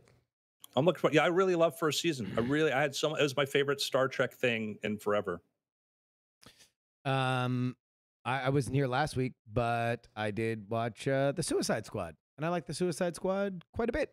I thought it was, uh, you know, I, I, James Gunn uh, with the the second Guardians was, I think, a little bit more, uh, too much shot, reverse shot, talking in a place, a little less of what makes James Gunn, uh, I think, a really d- uh, amazing dynamic director of Yeah, but big that creative. they they they uh, when it comes to tossing a ball back and forth, oh man, did Yeah. they deliver? I mean, look, and, and so I don't want to. I don't want to make this a, a slam on Guardians too, but I, I I do think that with Suicide Squad, it kind of gets back to what you know got James Gunn the the job for for Guardians of the Galaxy, and and what made Guardians uh, a, a special. Uh, with the added thing that with the the clout he had coming out of the controversy, he obviously was just able to really push the limit on violence because this is a a fairly graphic uh, uh, movie when it comes to that. Uh, but I had a I, I had a, a I had a good time with it, and it was it was consistently a movie that was ahead of where I I expected it to be, and it was it was fun and creative and exciting. And John Cena is great. Uh, I got a pick. Uh, you know, con- continuing off of last week, I, I think I I um I, I tentatively made this my pick, and I think I I'm feeling good about it. Last week I had started binging, catching up for the White Lotus. Ooh, that's on my HBO. list. I've heard it's good. I think that it's very good. Uh, the thing I was concerned about last week was I watched episode one and and it, they they kind of set up this murder mystery. You know, somebody dies from the outset, um, and then who is it? And and I kept watching that first episode with it with that very like Sherlock Holmes kind of of perspective of like, oh, he really wants this. This uh, this room with all these private features. Oh, does he want to do that? Oh, this family is like has kind of got a weird dynamic. Oh, this this one lady is, is a little off. Um, and and I think last week when I talked about this, Brian, you asked what would be the best version of this show. What would the best version of the show look like? And I think I said to to be surprised that it is a murder mystery, and I think that it is. Nice. I think that it came around to it. Like it was a. I haven't had this in a while, but like me and, and some friends in on online, like kind of tried to watch it together. We were all like taking bets on who the person who died is. Uh, I won, by the way. I nailed it correctly, and um, and and along the way, you have I think a very interesting um, uh, satire of of people with privilege and um, and a an examination of of what type of problems and, and conflicts that they both are involved in and generate. I, I think that this this is kind of a special little show. It's only six episodes. They're all out now um, on HBO. But I I I think if if you want to see a lot of of of bad kind of cartoonish characters kind of get what's theirs, um, I think the White Lotus you, you you might be into. And this is uh, uh, one of those great HBO shows where like every actor or every role is filled by a really good actor and often a really good character actor. Like just looking at the cast, it's like, all right, there, there's some there's some killers on here. Yeah, I think uh, the the most inspired um, casting uh, out of everybody is um, Molly Shannon is is in a few episodes, and uh, she's perfect. She's pitch perfect for the um, the the character that Yeah, she is. because it's like what Alexandra Daddario, Jennifer Coolidge, of course, uh, Stifler's mom, who's got it going on, uh, uh, uh, Connie Britton from Friday Night Lights, and Steve Zahn, who has She's been on, yeah. criminally criminally underrated his entire career. Just just an awesome actor. Yeah. So uh, I, that's the White Lotus. I, I think it kind of stuck the landing in, in a really good way. It's not a who done it, but it's a who got got. So and is I think that's this just another as, one of these things that HBO has been doing where it's like really just one season? Like This uh, supposedly this was conceptualized because they shot it during COVID, so they could rent out the four seasons and shoot it Gotcha. safely in Hawaii. That, but they just uh, uh, last week said, "Hey, we're going to make a season two. It'll be in a different place with a different cast," okay, which is also so it'll great. be in its own, its own with thing. the, with a new feature we like to call outdoors, Yes. where other humans will be walking around. but it's kind of it's kind of interesting from the DNA of the show because it, it makes it so that anyone who's not on the on the resort doesn't exist. You know, Yeah. there's a character in the first episode who you don't see anymore because she has to leave the resort uh, for for good reason. But then she never gets. There's no follow up. There's not even like I wonder what happened. In the, it's Yeah. just Yeah, This you, person doesn't you don't, exist You don't, anymore. you don't smash cut to Milwaukee where she's getting off the plane. Like Right. if, if she's out of the resort, if anyone's off the resort, then they're gone from this universe. and and it's it's it's really interesting. It's it's also uh, created and written by Mike White. I did not Yeah. know the name, but uh, oh, really? Uh, yes, who I believe was known for. Oh, he wrote School of Rock.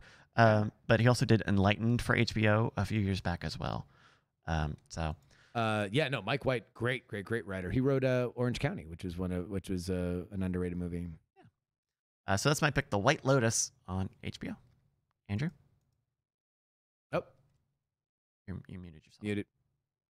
check out uh i was going it's funny because I tell I'm going yeah he did he did school of rock Yeah. you know he did chuck and buck and all that and i realize i'm muted it doesn't matter um the uh the everyday astronaut tim dodd his youtube channel uh those interviews with elon musk are phenomenal and i think if you like them consider supporting his patreon like this is what you know was mentioned before was pre youtube yeah, you would get 60 minutes would be there for eight minutes, and you would get stupid questions because the producers would be like, Well, it's space stuff. People don't understand it. We got it. You'd be like, All right, it's cool. Here, just in-depth nerds nerding out over space stuff and watching, you know, two and a half hours of this is like amazing, you know. And So just more- like spot spot checking it through here, showing it on the show, like it looks very. It does not look very edited much at all. It seems very No. like stream of consciousness. This was the couple of hours I spent with Elon.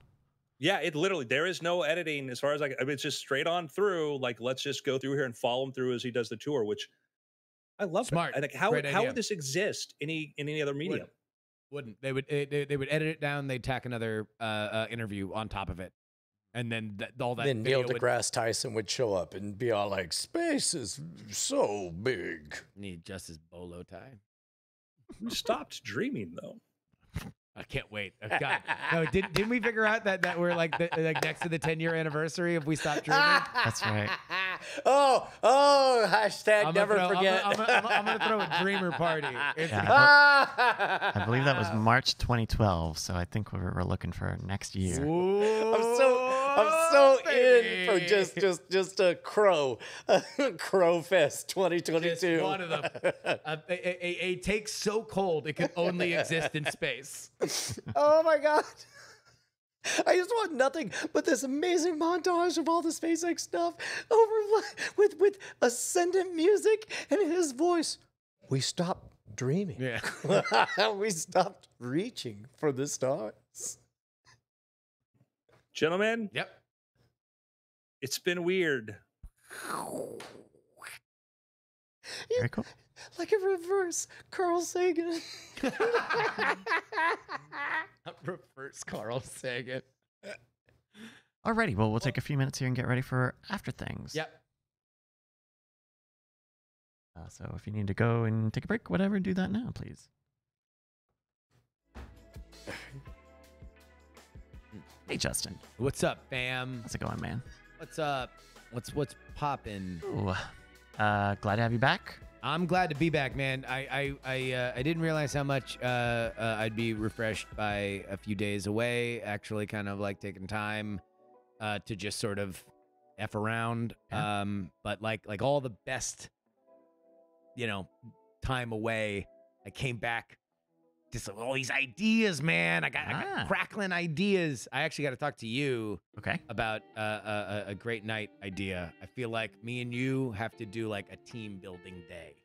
Okay. All right. And here's the only goal the only goal is that we come up with like 20 new sound effects or bumpers for a great night.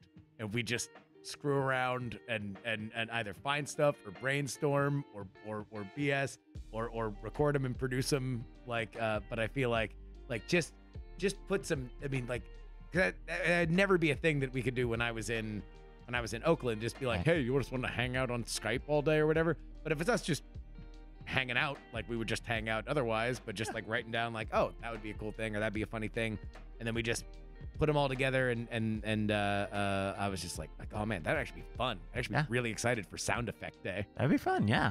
Because I, I always I always get a, a hair that like oh I should I should add more stuff to the soundboard or we should uh, you know figure out you know a script of something to get go get someone recorded but then you know yeah but that's always the thing you can put off and I'm like like that's why it'd be it'd be fun if we just made Yeah. it like a day that'd be fun Yeah. yeah yeah I actually I've got a trip coming up in September for a few days you got what I got a trip coming up oh crap where are you going uh, uh, to go see some family in uh, I, I, won't, I won't say, but to go see some family somewhere Gotcha. in the country.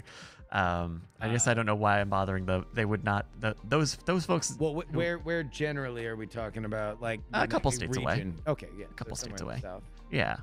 Uh, let me let me let me take sure, sure, sure. But um, but yeah, that that's coming up, and so I'm looking for. Uh, uh, that'll be a fun little relaxing thing. Uh, in a couple of weeks, and so.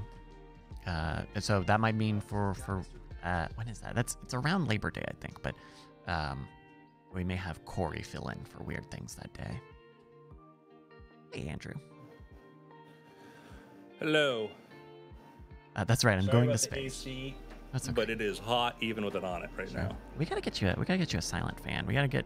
Gotta find find you a. Uh, A fan. Well. a fan. A fan ain't gonna cut it. just something to hold you over. So Uh, Bryce, the AC is not even cutting it right now. okay, okay, oh sure, sure. Right. I go, I go as hard as I can. I take, I try to keep it off as long as I can, as long as I can. Well, the but the fan can supplement that. It's a two prong solution. I got, I got a Dyson right back there blowing at me. Okay, all right. Well then, I'm trying, Bryce. I- I've done everything. we'll get you. We'll get you a, a big ice maker. You could do get a bowl of ice in front of the fan. Do that old wives' tale. How bad is the noise from this? Uh, it's it's not bad. It's it's part of part of it is that um the uh the either the Opal or on the computer side it's doing a little auto docking. So sometimes when you come back, we can hear it when you if you've turned it on. Yeah. Um, Um, But it's uh it is not the worst thing in the world. I'm a horrible person that wants air conditioning. We get you uh, get you one of those um, biker jackets with the um, uh, with they've got like a radiator system, and so you pump cold water, you pump water through it, and it keeps you cool on the road supposedly.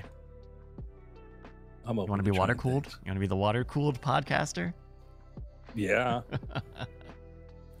hey, uh, check out on uh, I saw my Twitter at a little write up in the mother, uh, motherboard Vice Vice motherboard. Oh, you mean this uh, this tool lets you program an entire app with one voice command, and they linked to Mhm. your YouTube video with CodeVox? Uh huh.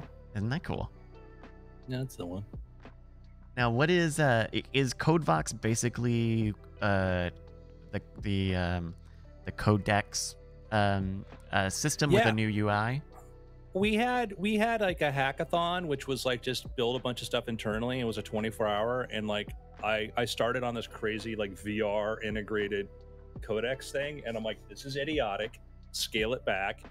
And then uh, you know one there was like a list of suggestions. Somebody had mentioned like oh what about doing voice and code? And what you know one of the things that you know i've always dreamed about like doing an easy way. So i just built i built this on top of codex and like I mean, I added, I used, you know, the the the built-in browser library. I mean, it looks more complicated than it is. Like Codex just does all the really heavy lifting. I built an interface. I built a little some prompts and stuff to work behind the scenes, and some, uh, you know, interpreters that let you run the code like Python and JavaScript in the browser. But really, like, it's Codex. Wow, you know, that's that's, really what I could cool. try to show people. People are like, oh, is this going to be an app? I'm like, I made this in like a day. Like, it's Codex does the work. This is just some nice you know, f- you know, flashy stuff around here, but like this wasn't like, uh, I built this complex. No, and, like that's Yeah, So- Brian, did did you see uh, uh any of their their live demo for the Codex stuff? Uh, no, I, I, I did not see the live stuff, but uh, but I'm familiar with uh, with what it uh, what it was. Yeah, it was pretty cool. They showed off you, you just type in, you tell it some stuff to code, and um, it recognizes what you're talking about. It figures out how to do it. My guess is This the code is making- probably a little inefficient, um, uh, maybe inefficient, or might be a little. Uh, it's the, so this is building scene. a JavaScript game. So uh, this is Greg Brockman, is the co-founder of OpenAI. So basically, this was if you fast forward through there, you can see like building a little space game entirely by saying, add this as a ship, have this happen when it collides, and it just it figures it. Be like it's amazing how much it can figure out how to do this. Yeah. that's Ilya and Code and uh, Greg. Ilya is Ilya is brilliant and one of our research scientists, the head of research at at OpenAI. Um, so Yeah. just dudes I work with. That's all. Just And, you uh, know, some coworkers, a Couple you of bros. um, were we going to talk about uh, crap bad, jobs. crappy jobs in uh, uh, in our after things? Uh, Ill Inc. Yeah, don't drink candle wax. Okay. Um, Oh yeah, please don't do that. Just just uh, just letting you know, don't don't eat don't eat don't- don't eat wax is going to Yeah. be our position. Uh, yeah, we uh, we want to talk about crap jobs, Andrew, for after things. uh, yeah. Do you want to do that? Yeah, it sounds good. Sure. Yeah. I mean, I mean, I'm I'm I'm open for anything, but but uh, I I certainly have no shortage of crap jobs to talk about. Yeah, we'll, we'll go around. We'll, we'll we'll we'll share. That? All right, everybody ready to do some after things? Yeah. Ready? Andrew, how are you? I am ready. All right, then I'll catch you in for after things here in three, two. Hello and welcome to After Things. I'm Andrew Mayne, joined by Brian Brushwood, Hello, hello. Justin Robert Young, Sup? and Mr. Bryce Castillo. Salutations, everybody. Gentlemen, Yeah. Let's talk about jobs, Bad jobs. naughty Bad- jobs, bad- gross Bad jobs. jobs. Like like uh, it's it's so weird because uh we all smiled and thought about like oh man yeah I've got a story and now here we are to the part of the show where it's like no let's relive those crappy jobs that we had and then it's like now all of a sudden it's less pleasant. like, I'll, I'll start. I, I'll start. Go I'll, ahead. I'll start. I'll start. Um, uh, I- had a an internship coming out of college with uh, a um, a large there for a, an, for a venue like in a, a coliseum arena sort of place for a few months, and I had just come out of college. I had uh, a, deg- a fine arts degree in kinetic imaging. I know how to make videos and audio. I can use Photoshop and all that stuff. And um, and so I spent that internship, which was probably I would say three three or four months or so, um, in a back closet of the like administrative office at that venue, um, going through old contracts and taking the staples out of them so that they could be digitally scanned. And that seemed to be the only job for the four people who I was working for in that office. And it wasn't until I left um, and like had as a side thing for this internship had helped make this commercial, this like PSA commercial that we talked on Night Attack about years ago. Um, that that they go, oh, you could do you could do stuff like that. Oh, we have a whole graphic, we have a whole team who could have. oh, Who could have used you? and that and that was like and and I would like go in I had days I'd go in and cry because that's all I was doing. I was like, "Oh my god, I just came out of college and now I'm stuck here uh, on, you know, taking staples out of old like Lynyrd Skynyrd contracts and and writers and like, oh, cool. Good good use of my time." I mean, al- al- also, especially because couldn't couldn't you just Battlestar Galactica it and just just cut off those corners and scan them? I mean, Uh, was the- uh, was mm. it was was there? You're gonna defile the Lynyrd Skynyrd writer? no, I'm gonna I'm gonna sell those triangles on eBay down the list. Skynyrd staples. but it, that was like there were you know there, there were you know two folks and a supervisor in that office and it seemed like that was all that they were doing every day and so they knew they had an intern and i guess they just popped me in there instead of like talking to me and knowing that i could help out there because they have a whole marketing pe- team that anyway I'm- Although I'm that that is a good uh, a, a good example, and this is the kind of stuff that you learn, and Mm. this is this is why you know you have a an experience like this is that you know you gotta be your own biggest hype man, or at the very least you gotta sound you gotta sound the horn Mm. if you believe you should be somewhere else like it is it is always uh, oh, nine times out of ten it's going to be worth it just to at least make it known and be a bit of a, a, a- a squeaky wheel uh in in terms of doing that and i'm, I'm sure that Mhm. you know uh, you eventually got on their radar because your talent was there Sure. but uh, uh you know you you know that that's that's that's a good lesson to go from Yeah. uh my man aside from just working at restaurants uh, uh which are their own you know little uh little slice of hell at times uh the the i would say objectively the most boring job that i had was again right out of college so we're we're we're establishing a trend here but i worked for an architectural uh ex what was it? Expedition firm uh that literally so to get a building built in New York City, you have to clear it through the Department of Buildings, and it's a Byzantine system that at that point, I don't know if, if, if it's changed since COVID, but at, at this point in the mid aughts, you had to physically bring the plans to each borough's Department of Buildings. Oh dear God! Ooh. So that meant that the firm uh, was my cousin, who was the architect who would check plans and everything and mark stuff up and get it ready for review.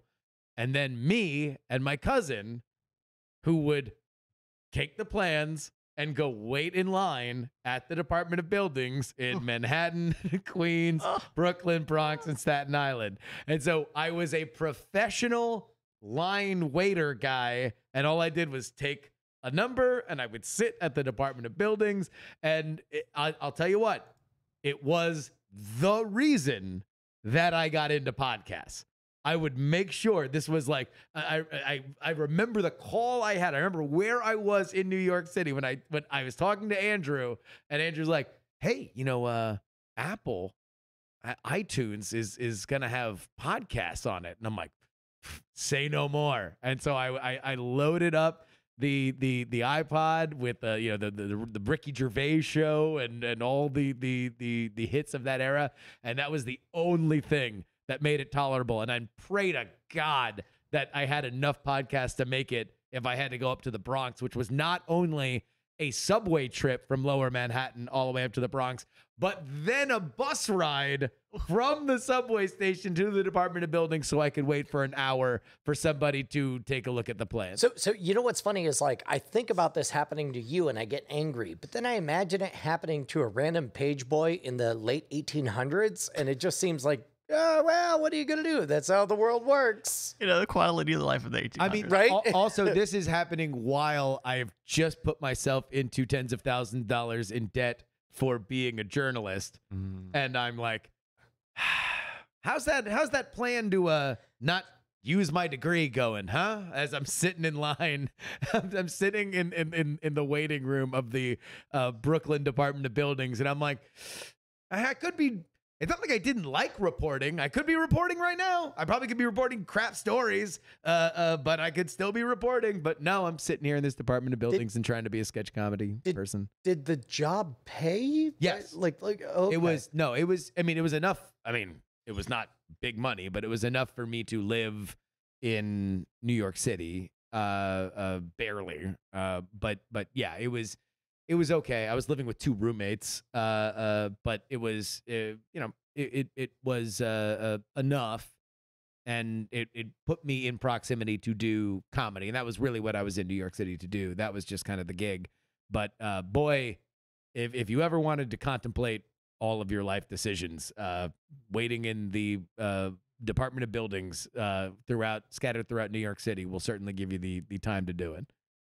So when I when I quit my day job at Dell, um, and again, I, I try to be pretty pretty fair. Like like like coming out of college, first job I ever had was uh, in uh, uh, on a phone queue for uh, extended warranty service, and I figured out. I think I've told this story before that very quickly. I figured out that my real job was to keep making up BS things for people to do until they got so angry that they threatened to sue us unless we sent out a tech and then we would send out a tech for whatever it is, which is why nobody should ever get an extended warranty. Uh, after that, uh, uh, I, I tested video games for a while, uh, which was a good gig, but made no money. But I got to discover a lot of video games. Uh, then then I ended up at Dell, which uh, was a good enough gig for me to get a house or whatever. But here's the weird part: is then I quit my job, a, a pretty good job at Dell on a pretty uh, safe career track. I would say that it like if I kept putting in the effort, I think I could have really gotten ahead. Um, but then when you're adrift and your wife has said you have one year that I'll keep the lights on, it is astonishing what you will say yes to before realizing what it's like to actually do. Yeah. Uh, like like like uh, a Marshalls opens in a mall and they need someone in a gorilla suit.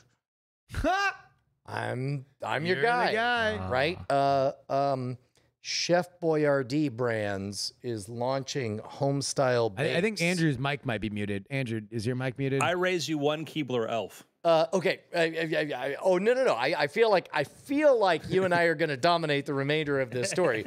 Uh, uh, uh, uh, Chef Boyardee launches homestyle bakes, and they need somebody to wear a tuxedo, walk up and down the aisles of of of, of five grocery stores per day, spending an hour at each, uh, interrupting women who are shopping. So that they can ask if they can show a magic trick to their child. oh my god. By the way, the answer is the magic card is the one that says homestyle bakes on it. ah, there we go. that was a big gig that I did for like three weeks, uh, uh four weeks straight. Um, uh, oh, oh, shoot. Um, uh, uh, uh, then there's then there's all the other times where it's like you say yes and you realize how woefully inappropriate your style of magic is for whatever event they've done Yeah. um, uh, uh, uh, twisting balloons uh, uh, for for for drunk women who want them to be phalluses. Uh, g- g- it's uh, Get to Uh, the bad part. I, He's like Uh, one easy shape you got to learn. I I mean, my point is, uh, your Who definition. books that? Uh, yeah. And isn't that the uh, uh, the punchline of the famous joke? Is uh, yeah, yeah, uh, yeah. No, it, it's it's. I might have to noodle a bit more about which one is specifically the worst. The worst. Mm. Yeah.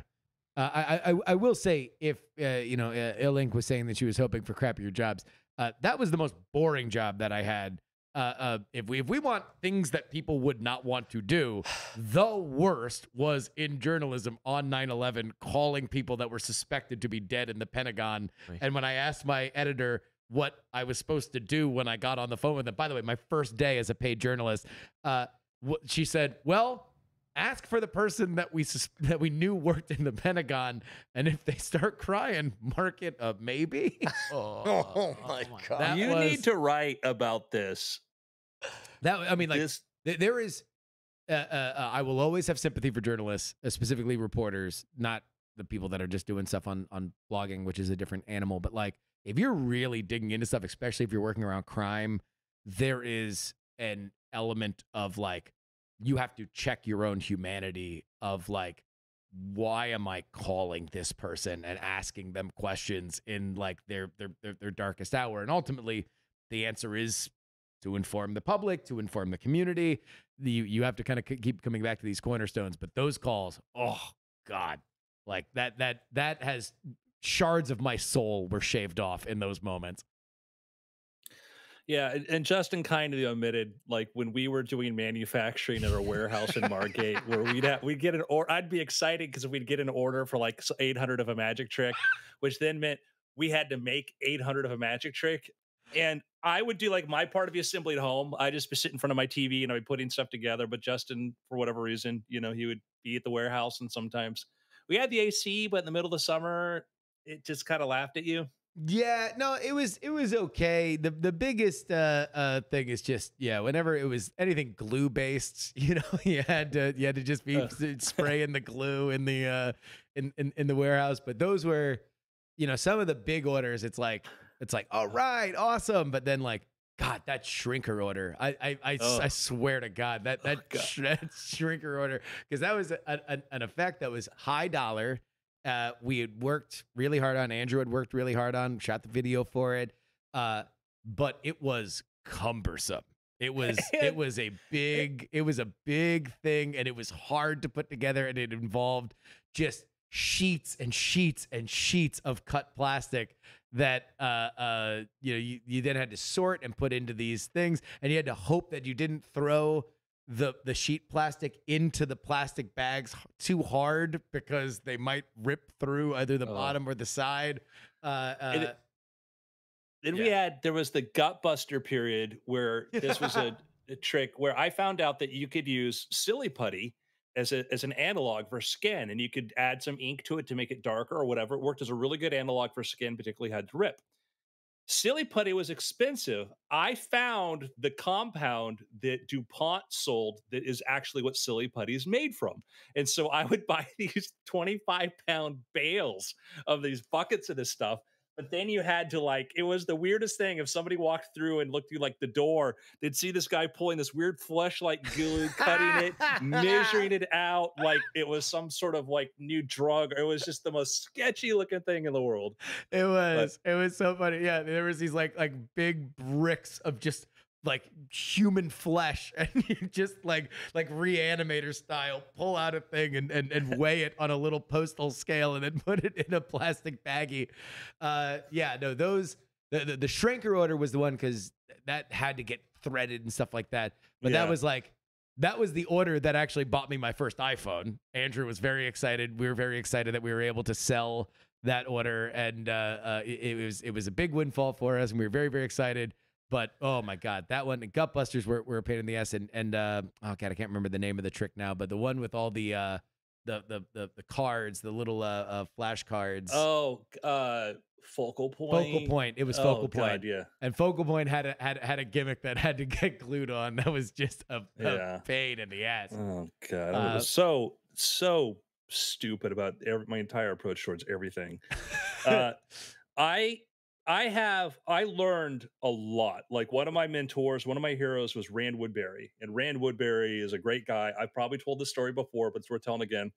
when I was in high school, I met him through some cruise ship magicians. He said, "Oh, you got to meet Rand. Rand is a guy who was building illusions in Davie, Florida."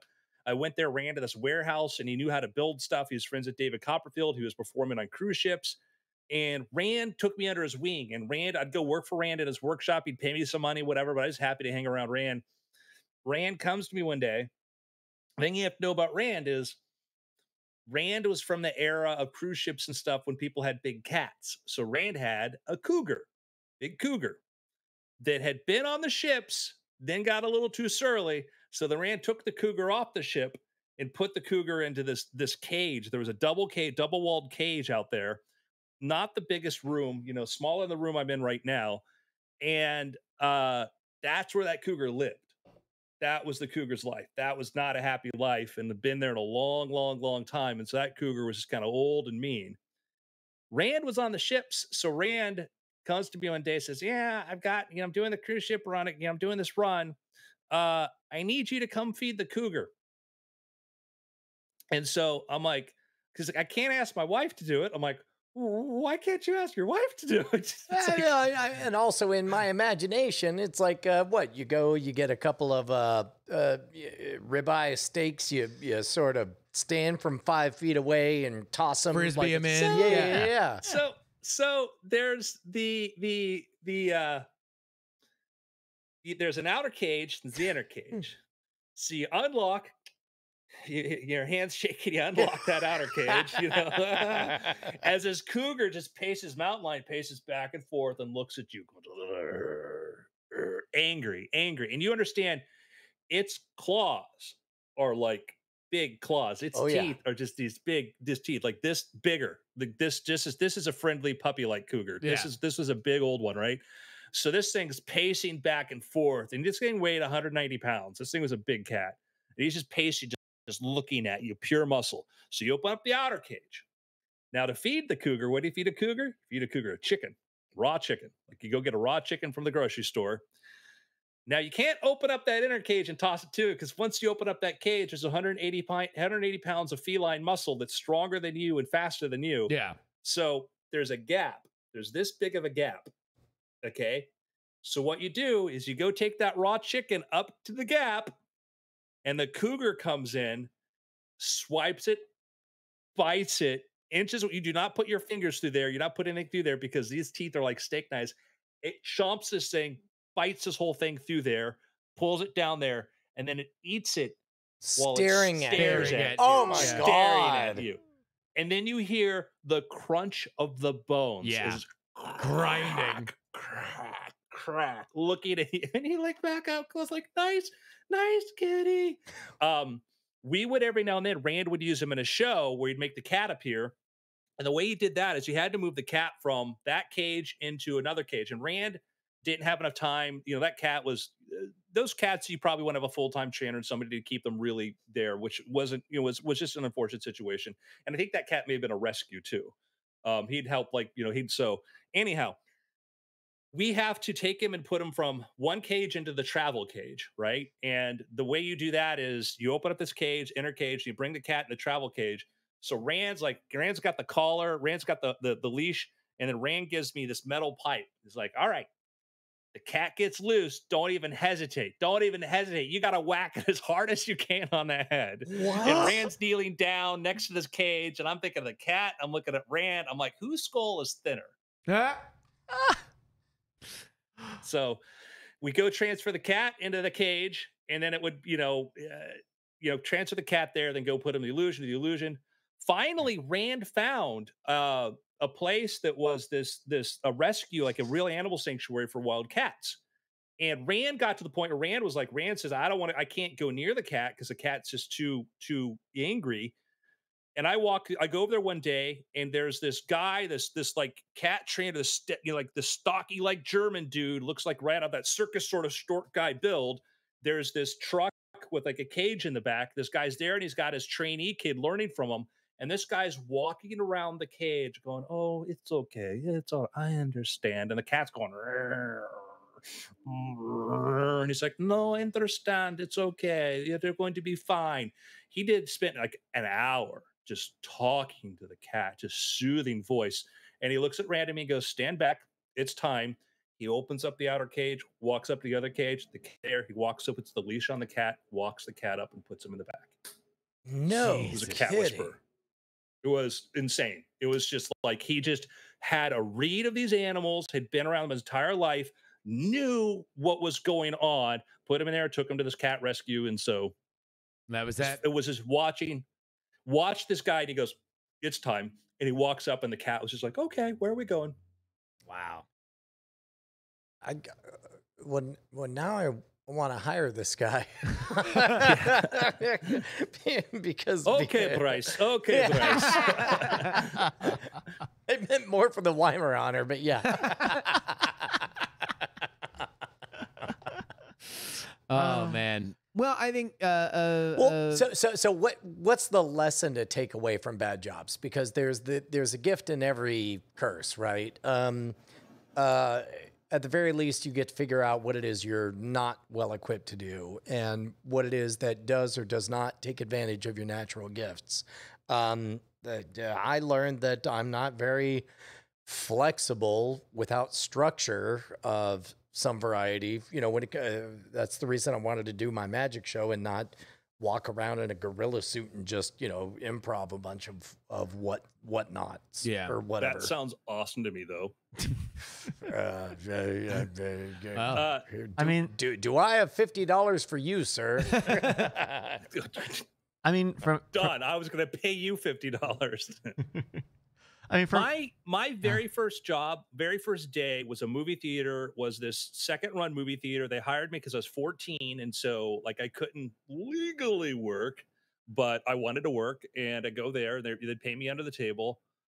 Um, and the first day they walked me into the bathroom. They gave me this orange scented cleanser, which I will never be able to forget the scent of. And he's like, Mm. clean the toilets. And I'm like, all right, it's my job clean the toilets. And like I had a, you know, I have a friend that has a movie set and there's a problem because like the bathrooms weren't clean. And my girlfriend's like, what would you do? I'm like, well, my first one would be I'd pay somebody to come, I'd hire, I wouldn't make my crew use dirty toilets. I would first, I would see if I could hire a cleaning crew to come in and do it. If I didn't have the money to do it and nobody else had the time, I would clean it. She's like, gross. They're like, just, I'm like, I know, but I don't want people to use that. And that's not beneath me. That's Right. Yeah. not beneath me. Yeah. There is, if I have to, you know, I have I have friends that like they get out of work, they go through rough spots, and all they do is wait for the next ship to come in because they refuse to do anything that they consider beneath them. yep. I don't have that. No. If if all of a sudden I was in a financial bind or whatever like this, and I'm like, oh, I could do DoorDash or whatever, and I could, you know, I could do this efficiently, whatever. I would do it. I don't care. Like you're not gonna. Nobody's gonna ever look at me and go, "Ha ha!" You have to do this and make me feel bad, you know, because like I just, if it's if it's if somebody else is capable of doing it, I'm capable of doing it. Nothing's beneath me yeah, I mean, I in think that regard. I mean, within limits. Yeah. like Andrew, I've got an offer for you. uh, the biggest thing that I learned, and that was for all the the situations, uh, spe- uh, specifically with, uh, you know, like working with Andrew or or you know through through journalism or whatever, is that you, you especially if you want to do something creative, it really, really, really, really, really helps, and I cannot stress this enough to understand how the machine really works and not just your own creative impulses, not even just your own ability to produce, uh, your ability to fit into the larger system, to understand what marketing is, to understand, like for, for Andrew, it was a crash course of like, okay, how do you you come up with a magic trick. Let's say it's a great magic trick. Everybody loves it. Everybody that you showed to, you go to Magic Live and everybody you're showing it to is like, this is the greatest thing ever. What happens then? Like, here are the people that you talk to. Here is what you can expect to sell it for. Here's what a, a jobber rate is. Here's what an invoice looks like. Like, here's what it takes to manufacture it. Here's how you source out how you manufacture it. Here's where it's inefficient. Here's where it is efficient. Like, that's just, i i- it's all those details that I think creatives in general get scared of and shy away from because they're not the fun part. They're not the create. They're not the, they're they're not the creative part. But if you really want to make this a living, either you're doing it all yourself or you better understand what that system is. Because if you're gonna get taken advantage of, that's how you're gonna get taken advantage of it. It's it's the we oh go ahead. Uh, I just would fall through. We we ran that magic, and we we never should have had a magic business like that. We never should have done a thing like that. That was that was the the worst use of our skill. It's not like it's not like we're situation where Brian is producing multimedia content and then builds like a big, you know, ThinkGeek like store on top of it. We're making magic tricks for the small, narrow audience. It was the dumbest use of our skills whatsoever.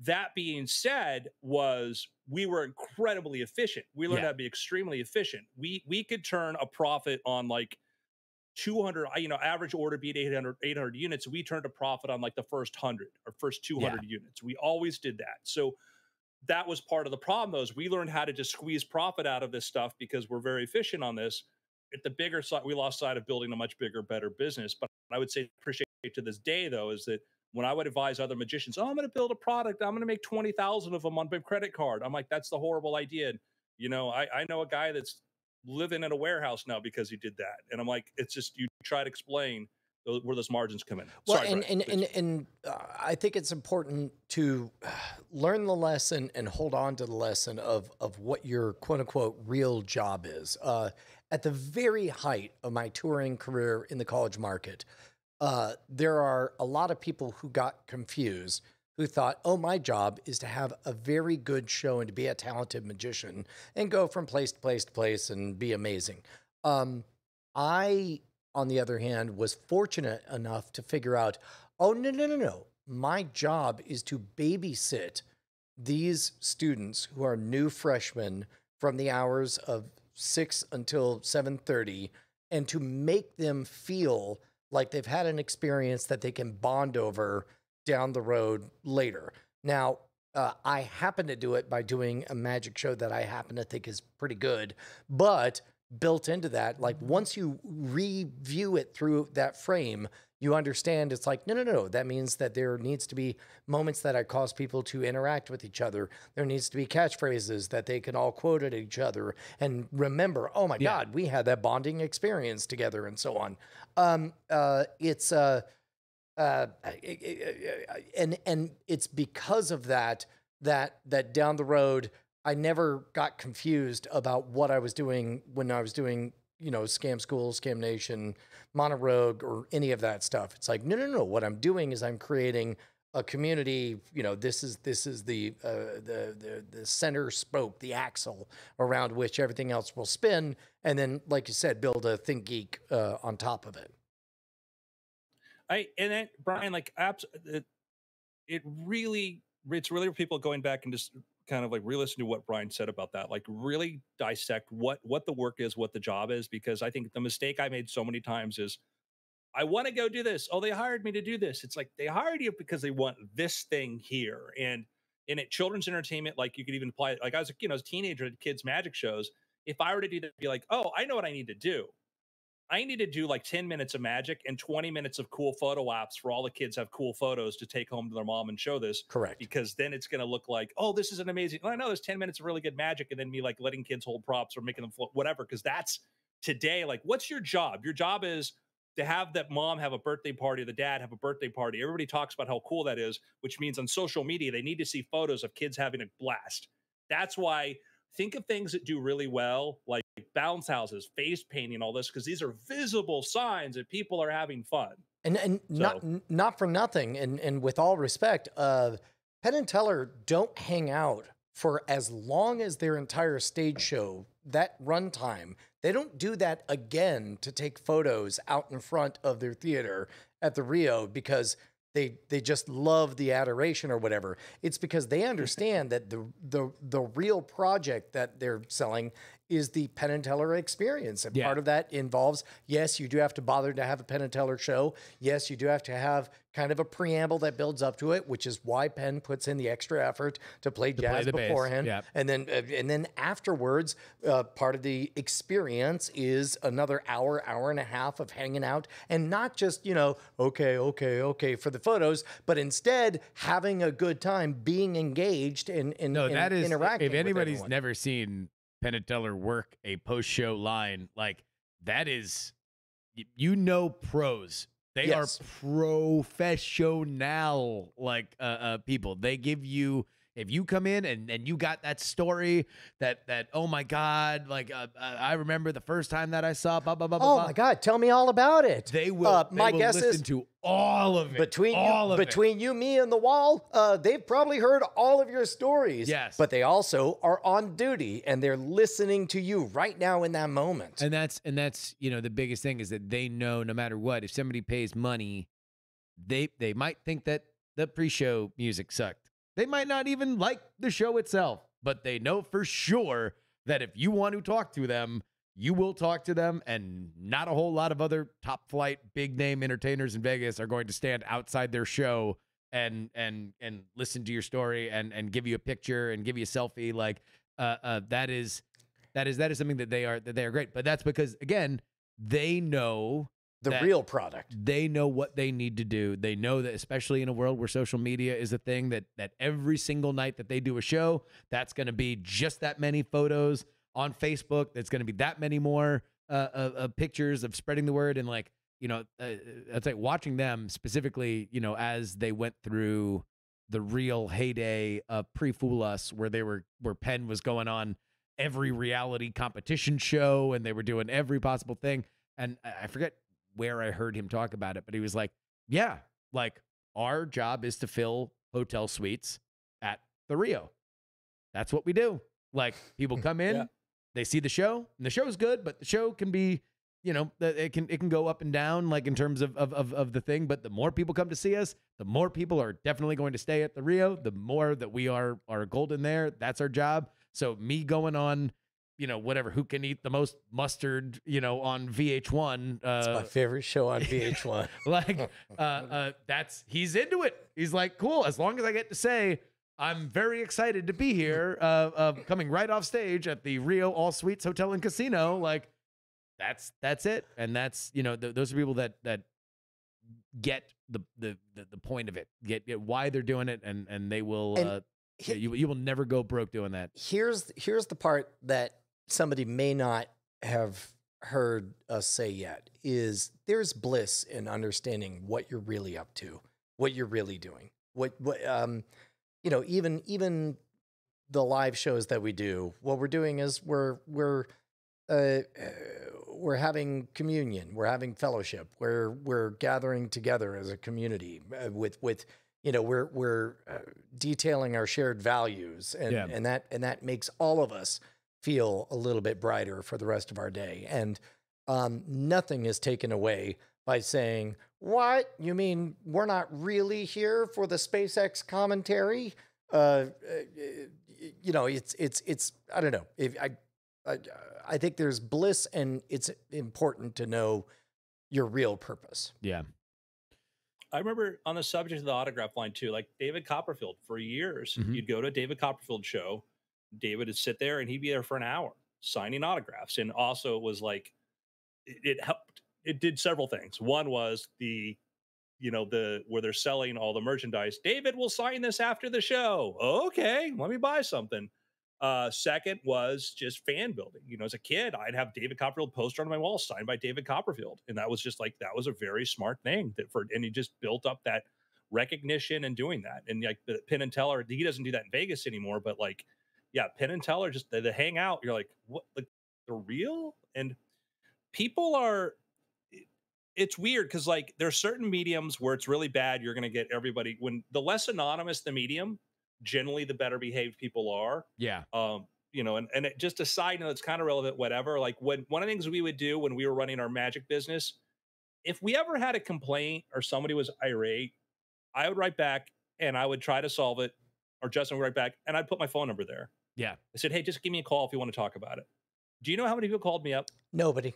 zero Everybody zero. appreciated it though. Every single person. Yep. Um there there Yeah, I, uh, my, my my move is I would give them my personal email. I would say I would say uh, uh number one, first customer service rule: respond as fast as possible. Right. Like even if it's Mhm. just looking into this, we will be in touch right back. The second you get it, if you can get an email back, then number one, you've you've taken away the biggest problem that you would have, which is I emailed them and they didn't even get back to me. Because everybody's version of they didn't even get back to me can range from 10 minutes to uh, 10 years depending on on who you are and what your what your what your mindset is but if you hit them back asap then that's the thing and then the second thing is like yeah give them the the like all right here's what i can find out and oftentimes it's going to the same usps portal that they have access to but it's like according to the united states postal service it, it should be here it should be there if it's not there in two days please don't hesitate to call me at this number or here's my personal email address uh, uh, please hit me up and i will make sure that either you will get a, a new thing in the mail that I'll send out priority, or your thing will arrive and everything will be fine. Uh, Yep. And and uh, I guess one last one last note on top of that is in the spirit of figuring out what your real job is. Uh, on top of all of that, within every difficulty is an opportunity. So oftentimes when somebody is upset, because I'll, I'll get this stuff like in passing, where it's, uh, for example, David was laid out with COVID and, you know, it, it had been two and a half, three days. This is David Rowan who runs Bizarre Uh, Magic. scam stuff. Yeah, yeah. And so, uh, and so I saw that somebody was starting to get fired up, and I just leapt in. I'm like, "Hey, it's Brian. This is my personal phone number. I'm not sure what's up, but it sounds like you're upset. Uh, what? Uh, please tell me everything. Also, here's here's a picture of my daughter. You know, like Yeah. like like uh, just as as fast as I can. Real humans. Let's do real human stuff. Let's let's figure stuff out. Uh, yeah, it, it's the people business. Ultimately, every business is the people business. I I want to close. This is actually touching back on something from weird things, but this was something that just came across my my my transom, which was apparently a statement on Reddit from a Blue Origin employee. Okay. Uh oh. Dear Weird Things Podcast, Yeah. would No, you not please stop This is being we heard- we heard you talking ass. Uh, the TLDR employee here, most if not all of us, do not agree with the recent PR campaign activity from Blue.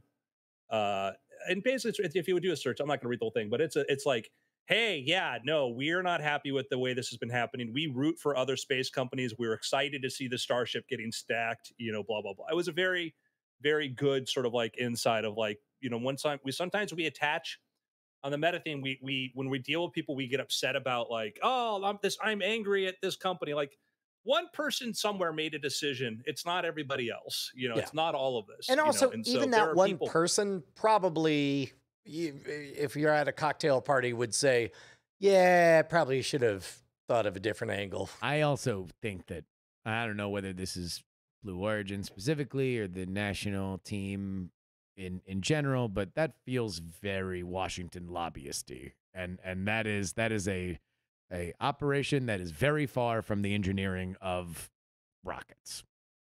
Yeah, there's there's Eric Berger Berger who did the wonderful book Liftoff. I highly recommend it. His tweet his his tweets are really worth following on this. He'd put out what- some theories, and one of his theories is that the head of uh, Bob Smith, who's the head of SpaceX, I said head, head of, he was just the head of Blue Origin. He's like, uh, it may be his job on the line. He may have been told you've got to get this or you're out. Is this? Yeah. And so that might be very desperate sort of measures by this, but ultimately, it's Bezos who I an immense amount of respect for, uh, and I think is you know if, if he were more hands on at Blue Origin, I think would be an incredibly capable company. But Yeah. so anyhow, gentlemen, into picks. Um, I went and saw Free Guy. I'm sure it's a fine movie, but but boy, are movie theaters getting reaccustomed to how to run movie theaters. Um, uh, I, d- I did not have a great experience at the movie theater. What uh, what what, What happened? it not fun? what Brian? happened? Yeah, well, I mean, uh, I'm uh, uh, uh, uh, the movie theater across the street used to. Uh, mm, uh, they they didn't have much of a pre-show, so they would do crazy things like here's an awesome 15 minute segment from The Princess Bride. They would play that beforehand or whatever. Or you've got your Alamo Drafthouse, which is like. Uh, uh, hey, here's a perfectly curated 35 minutes Yeah. that, that tells all the stories that you need to know leading up to This movie. this Thanos snap, right? Um, this was the hottest of garbage of of of just uh, on loop, fifteen minute uh, or fifteen seconds of saying, make sure to download this app for the latest in Numi news or whatever Yeah. the hell. Oh yeah, movie. Oh, Yeah, right, no. right, right. Whatever it was, it was awful. And and uh, on the way in, you know, I said, "Hey, um, we're hungry and we are a half an hour before the movie. what is the best way for us to get service? And they said, go sit in your seat and we'll take care of you. Um, spoiler alert, they did not. They did not. and uh, uh, the movie started, and I walked out. And I was like, "What? What up?" And they're like, "They're like, uh, you're supposed to be in your seat, sir." I'm like, "Yeah, the movie has already started." Yeah. and there's like, uh, "Fine, we'll send someone." And then yeah. uh, we got we got a popcorn. It was awful. That- it was awful. that sucks. uh, so so So I- don't go see Free Guy. Uh, the story uh, I mean, that's that's. I I honestly don't know how severely that impacted my experience of seeing Free Guy. What I otherwise, think you know, a seems like a big- fine ripoff of Mythic Quest. a big a big test was I think the release of the Suicide Squad because that was free. If you had HBO Max, that was free. It wasn't one of these Disney pay 30 bucks yeah. and and we were like, "Oh, this is out." And we were like we were planning to go see it in the theater, but then we're like, "Oh, we can watch it at home." And like it was an edge case movie where we're like, mm, and I would see it at home. And and that's I think movie theaters when we're like you're not too sure about the experience you're going to have. You'd rather see it at home than you're losing out. If you can't bring make that experience of the movies better than being at home, then we we stayed at home. I went across the street, got a couple frozen pizzas, we had popcorn, ever Great time. See, And, and, it was like and- and you got to compete with that. the the flip side is I have children, which means all movies are now presented in heckle vision uh, by bad first time hecklers, and and So amateur heckler. yes, exactly. Every movie is amateur heckler night, and the only way to see them i- in Wonder where silence they is learned to go this to the movie Brian. theater. Where did they pick this this up from, I, Brian? I, I wouldn't know. okay, okay. Bonnie. Um, I got a quick pick. go. If you're thinking. Pick, pick it quick. Uh, we we finished Hannibal a few weeks ago on It's Spoiler in Time, and uh, I kept threatening the guys that we should find a way to do a movie marathon of the Hannibal Lecter movies, and I have I have since fallen on the sword and taken it upon myself to go watch those films. And I have to say, uh, a uh, The Silence of the Lambs is free on YouTube. You can just go and watch it. That and um, what was the second one after that? Hannibal. You can go watch both of those just for free on YouTube. YouTube Yeah. has them there. Um, Silence of the Lamb really holds up. I think this is really interesting, and uh, uh, being able to contrast it with the show that that we just watched, where Hannibal um, is is is a little more flamboyant, is is a little as as kind of a different perspective than Anthony Hopkins' Hannibal Lecter. Um, I I think it, it's it's fantastic. I, I think it's it's a really really solid story. Um, with with good stakes. I don't know that Hannibal or Red Dragon are quite at the same level, especially because they don't have Judy Foster. Uh, but Spoiler alert, they're not. Or, or Jodie. uh, uh, um, but uh, yeah, you know what? It, but it was a thing where I could. T- I said, "Hey, I want to watch this thing," and I put it in Google, and Google says, "We've got it for free, dude." So, um, Which That was- movies did you watch? uh, so I did watch Silence of the Lambs. I did finish Hannibal, and I uh, am midway through Red Dragon.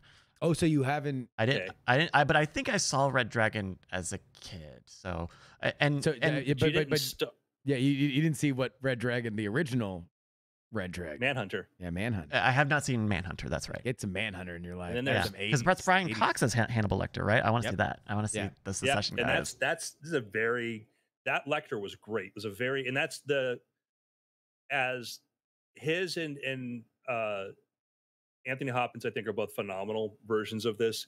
The the, the thing with Hannibal is that is if you read if you read those the the the books and then if you read like Highsmith's Talented Mr. Ripley, you see that he starts trying to shape him into a Mr. Ripley type character, which it was a very influ- it's not obvious in Red Dragon, but I'm not obvious in like Silence, and then a bit more once you get to Hannibal, you're like, this is Ripley. You know, this is very much like that, which I think that at the at the loss of what made Hannibal great, because also he's trying to like in the Talented Mr. Ripley, those books, like they're trying to like you're watching a sociopath who's very adaptive. And if you watch like the later one they did, those movies are check those out. Read Talented, Sure. watch Talented Mr. Ripley.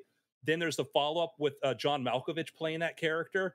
And it's very, you pick up a lot of similar themes with like later on with him, like Hannibal trying to have a normal life and whatever and being a sociopath. Hmm. And Malkovich just, Malkovich. Yeah.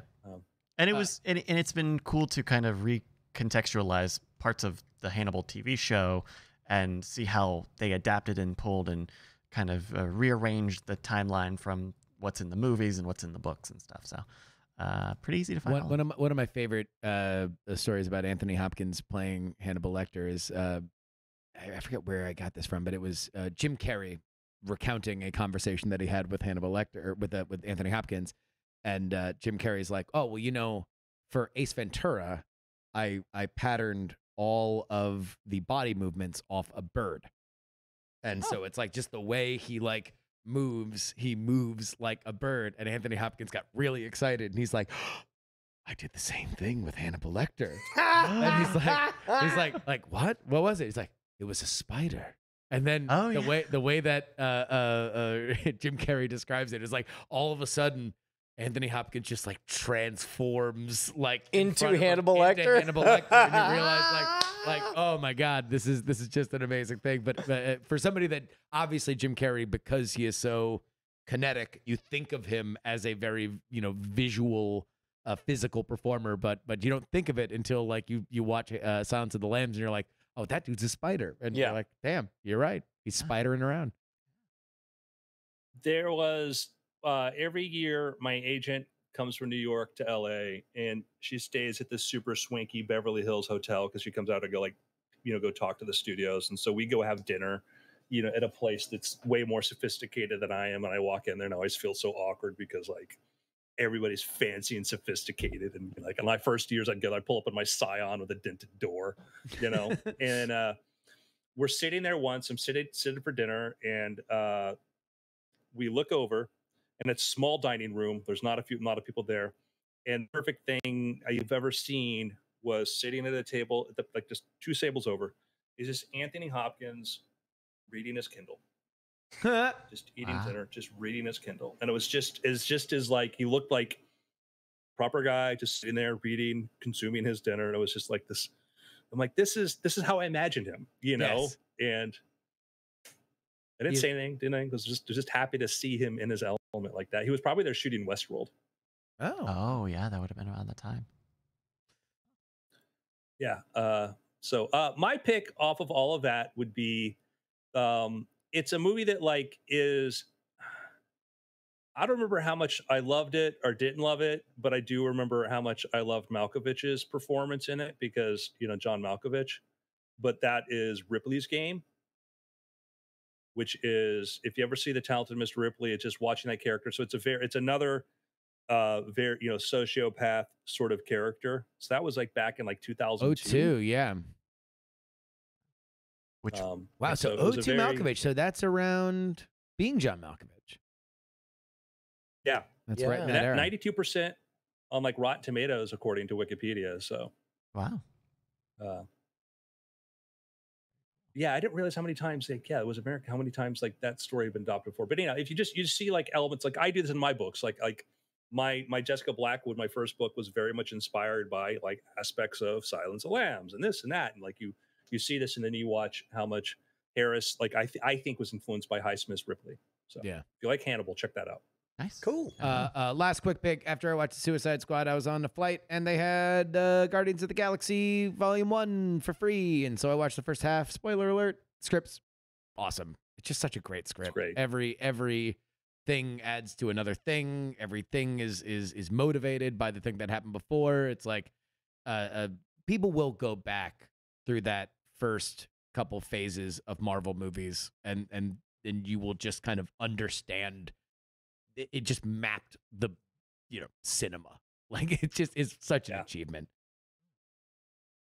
Yeah that's the i don't know if we're going to see more of that from marvel. I don't know uh, of of that. I, I, I, the I- best. I- I- not not to open up like I, I I know we got to wrap up, but but but it's like man, I got I got 15 to 20 minutes more in the tank where all I could do is talk about how loosey goosey the MCU has gotten and about how by virtue of everything being celestial, I've lost interest in Uh, everything. all, all i'll say is that if you lined all 10 rings up together and put a percentage at the end of it that's my excitement level uh, but I don't know. It's I'll been- see him. We'll, we'll, we'll see. I don't know. Whatever. I, I, I was. Uh, we, uh, a Marvel conversation can happen another time. hope it's great Me too. I'm Oh, rooting I- I- I- Always I, hoping. I, I, I, I like the talent. I, for I've. I've, I've liked the talent in other stuff, and Marvel has I- consistently. Ever, I will say this, with a few notable exceptions. Uh, uh, by and large, whenever I've been like, "Wow, they're- how are they gonna do this?" I've walked out of the theater saying, "Wow, that was really good." Yeah, yeah, gentlemen, Captain Marvel. Yeah, it's been weird, but it's after. It's after. It's been weird because it's not after. It's It's after. been weird Right. that it's so after. Yeah. Alrighty. Awesome. All right, love you Uh, guys. good stuff. Yeah, we're gonna go offline uh, uh, uh, uh, real quick here, but uh, thank you. Check around. We got Cord Killers in a couple of hours, everybody, and uh, we're gonna go get ready for that. Yeah, baby. Bye, See you, everybody. folks.